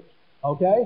70 years, that's about it. Each day is important. Each day that you let slip by without doing something meaningful in your life is a day that is gone forever. Okay? All the more, the fact that we shall die means all the more that we have the responsibility of squeezing out of every moment of life, every day of life, squeezing as much meaning and significance as we can get. And, uh, you know, it took me 40 some odd years to realize that, but by golly, that's what I'm doing now. Well, I think it's really odd to talk about I have the responsibility to squeeze meaning out of life. Responsible to whom? Uh, Okay, well, then in that case, I would say, why, uh, why is it any different whether somebody acts responsibly or irresponsibility? Your destiny is unrelated to how you act. It doesn't make any difference. Uh, for example, you said Russell campaigned against the use of nuclear weapons. Mankind will be wiped out anyway in the heat death of the universe. Uh, it really ultimately makes no difference whether mankind ever existed or not, whether one campaigned against nuclear war or one just lived in self-indulgence and, and hedonism. So it does seem to me that, that Heidegger is quite wrong here, that Sartre and Camus and others were correct, that ultimately, in the absence of, of God, life becomes absurd. There isn't any objective meaning to life, and the little meanings and projects we invent to fill our lives are really just pretense. They're not really objective meanings. Question over here. Hi, my name is Martina, and I attend the North Texas Church of Free Thought, and I have a comment for Dr. Craig. I am a non-believer and an atheist, and I'm somewhat offended, Dr. Craig, at your statement that we are immoral. That we are fine? That we are immoral. You made that statement. Did I? I have a, son- have a son and teach him Mhm. right from wrong because it is the right thing to do, not because some supernatural entity tells me to do this.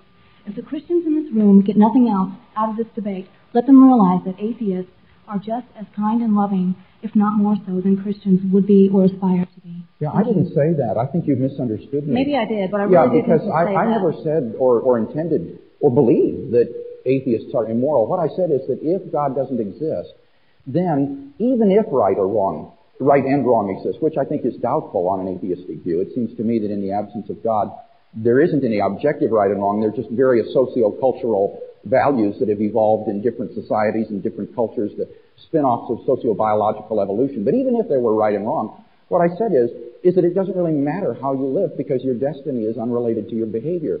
The good man ends up no different than the evil man. There's no difference between the Mother Teresa and the Joseph Stalin. So I'm not saying that atheists are immoral. By no means. What I was saying is that in the absence of God, uh, morality becomes, in a sense, fictitious. It, it, it becomes pointless. There isn't any value in life because it doesn't change anything how you live. You, you all end up the same. Albert Schweitzer wound up dead. Adolf Hitler wound up dead. Does that mean that there was no significance, no very deep, real significance in the difference between those two lives? I would say there is an overwhelming amount of significance. Okay, I can live 70 years, somebody else lives 70 years. How we live those years, to me, is something of overwhelming, precious significance, you know, not to be discounted. The fact that we all do wind up in the grave, how does that in any way diminish or decrease the significance of life as we live it? In fact, I emphasize once again, you know, if you have a finite period of time, if God isn't going to give you happiness in the next life, folks, you must get your happiness right now. Remember Reverend Ike? Uh, Reverend Ike used to be this guy on TV. He says, I don't want my pie in the sky by and by. I want my pie on earth with ice cream right now. Folks, I'm telling you, get your pie, get your ice cream now. That's what I'm saying. Question back here. I don't believe that uh, God can be proven. I believe that he has to be accepted on faith. But I also am surprised that there hasn't been more talk about Josephus, a historian who did report on the death and burial of Jesus, although he said that the body mysteriously disappeared, uh, which is certainly what a historian would have reported, not being a religious person. Uh, how do you respond to that? Is that not some extraordinary evidence uh, that you're requiring that a historian who had nothing to do with the religious experience would have reported on the death and burial and disappearance of, the, of Jesus' body? I think this is addressed to me. Uh, all I know is that uh, all the scholars that I have read, all the New Testament scholars, say that that section from Josephus is an interpolation which is put in there by later Christians.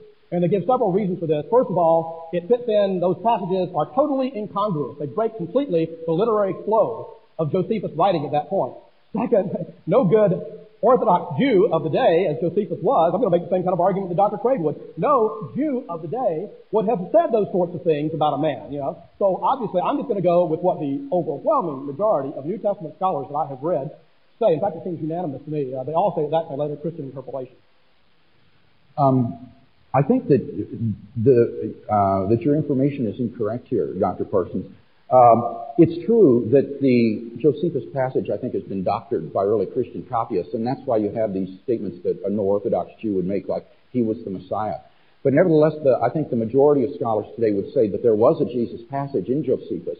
Uh, it, it's not incongruous. In fact, it fits in with the two stories on either side of it, uh, which are also verified by Tacitus and another ancient historian. And it also has earmarks of Josephus' own style.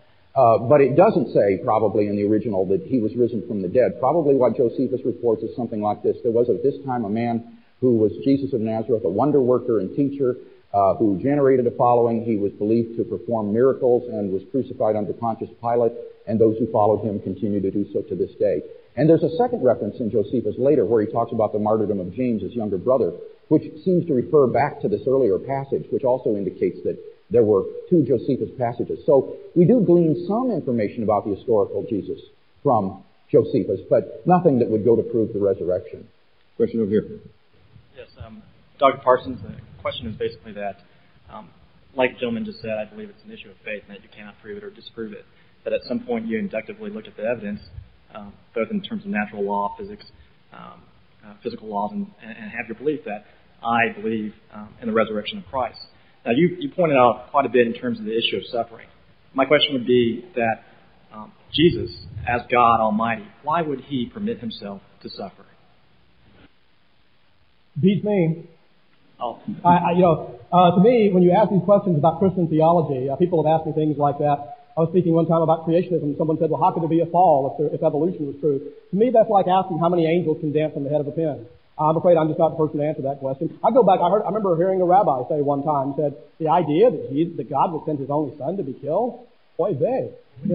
uh, I'm afraid I can't answer your question, sir. I'll, I'll just respond this way. Wouldn't that be the perfect response for a world that is suffering greatly, that has suffered from the very beginning in terms of, in terms of time to today, that when people are raped, people are murdered, they know that there's a God who gives them free will to choose right and wrong, and that God does not coerce or force other people to believe in Him, instead that He came down to earth and He suffered with us and communicating that type of love.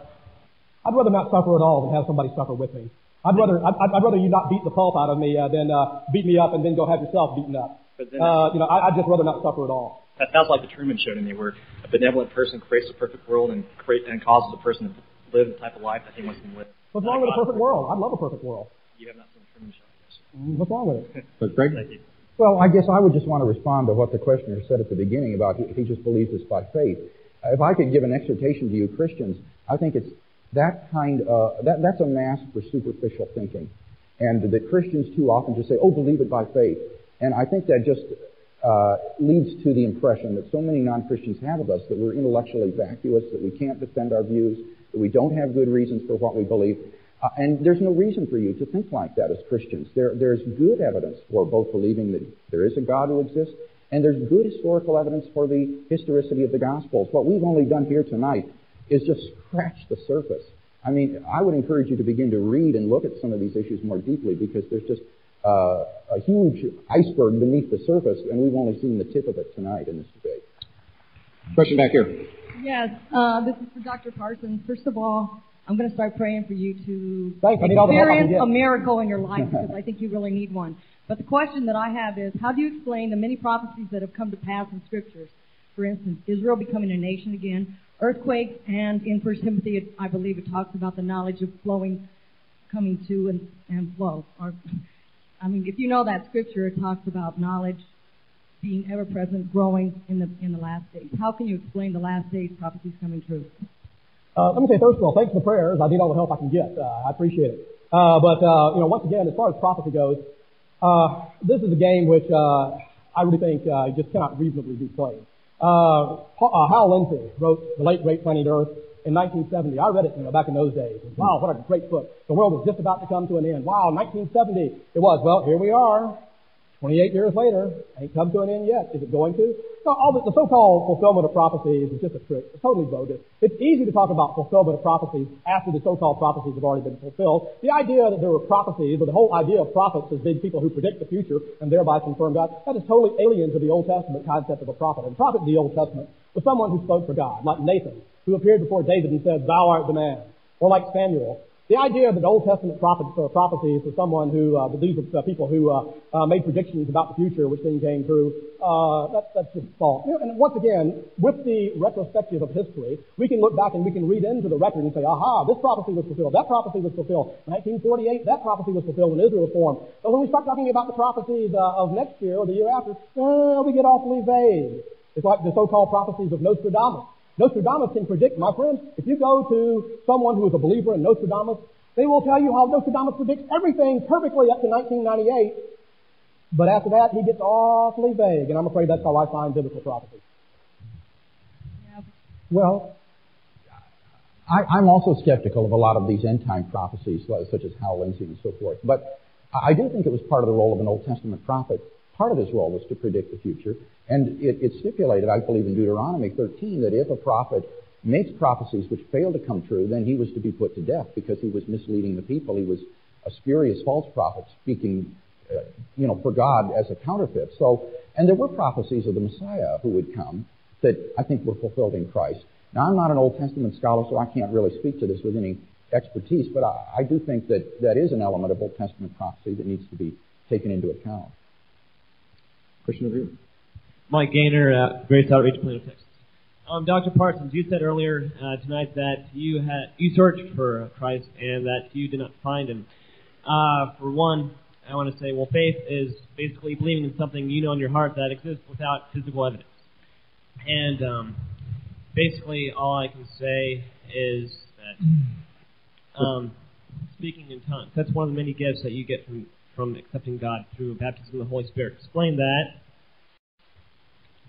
I think it's an Have questions? Sure. No, glossolalia, speaking in tongues, seems to be purely a psychological phenomenon. It's observed in many cultures and many civilizations and uh, this sort of thing. Uh, I observed it at a Beatles concert uh, that I went to many years ago.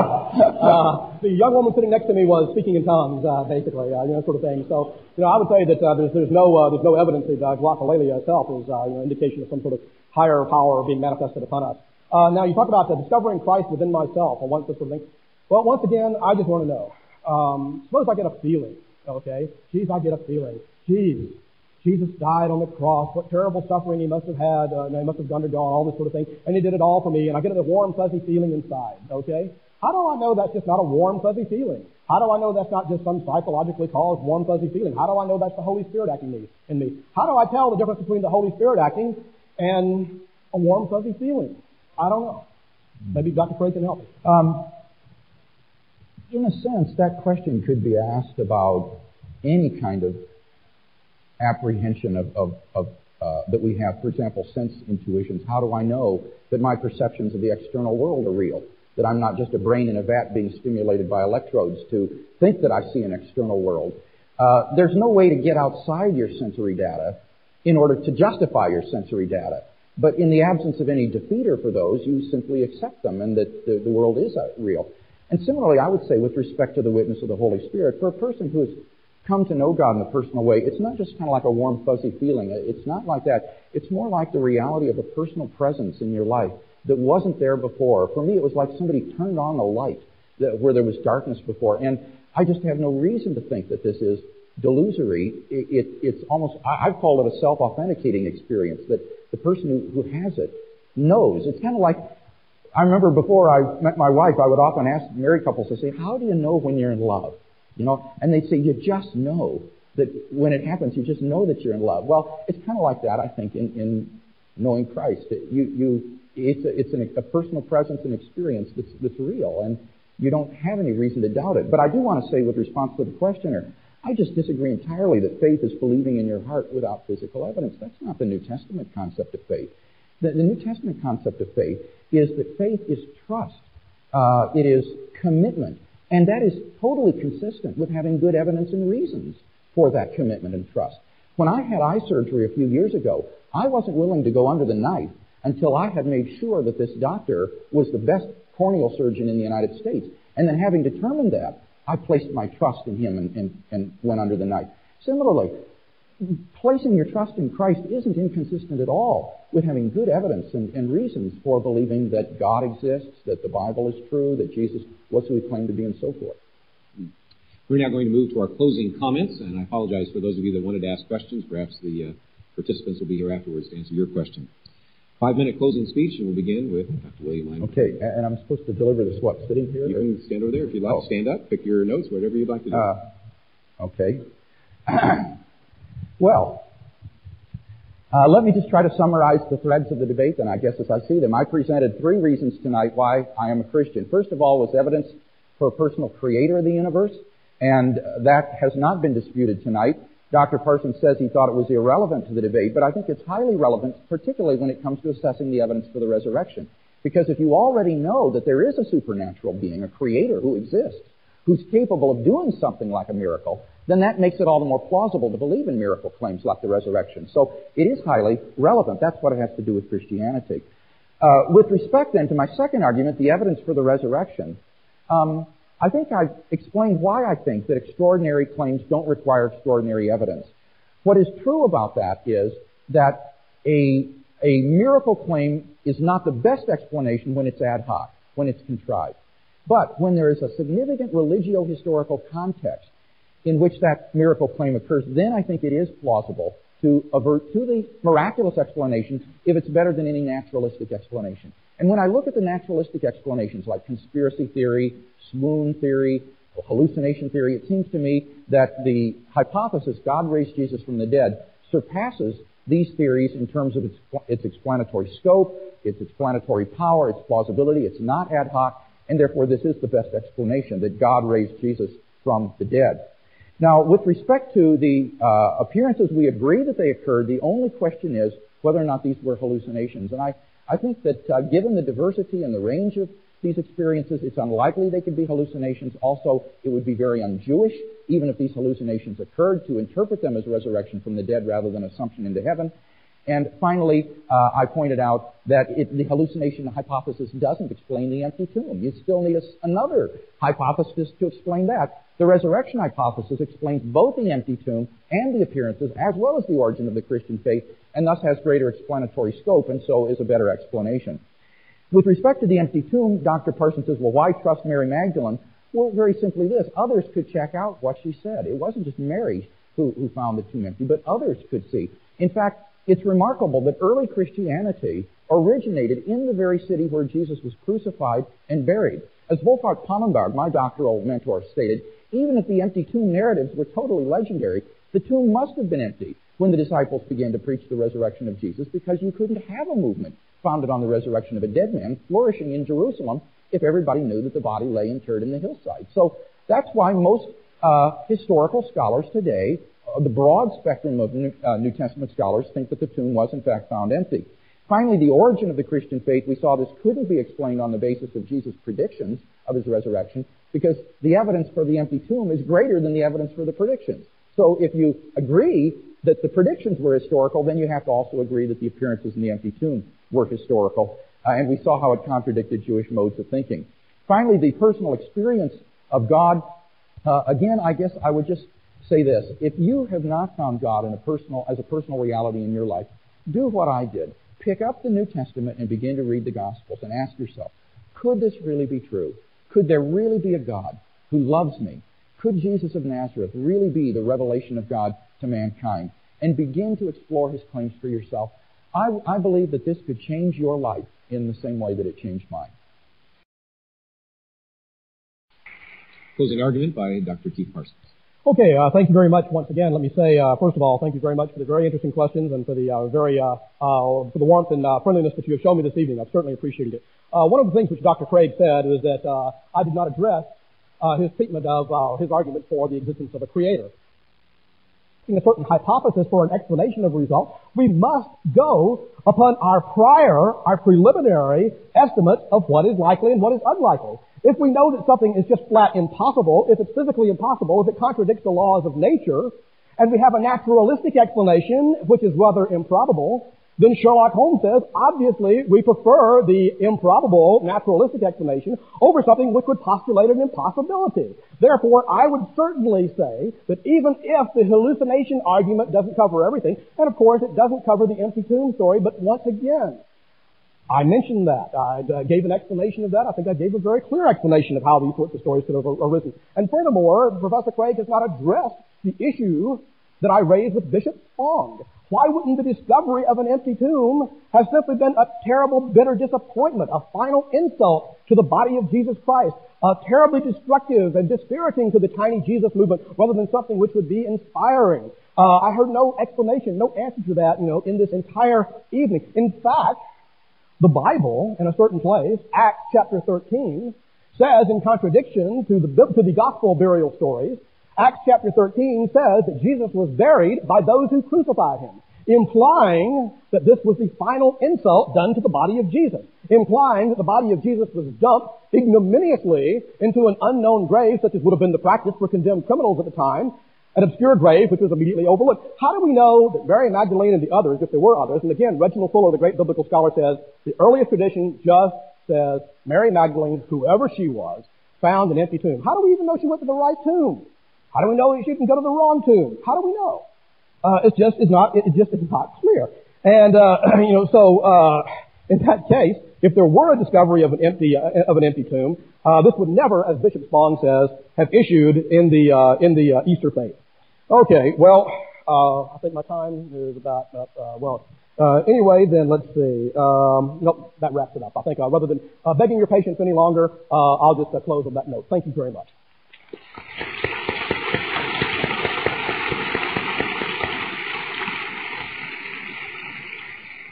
Before we uh, let you go, I did want to thank such people as Walter Nussbaum, those of uh, people involved here at Preston Baptist Church for this gathering.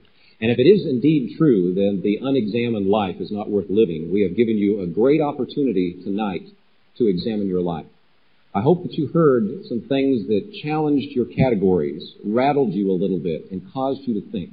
Because we want you to come away from this debate to think deeply about the evidences that have been shared, the truth claims that have been put forward, and to evaluate the impact that they would have on your lives. So with that, how about a round of applause for our two participants?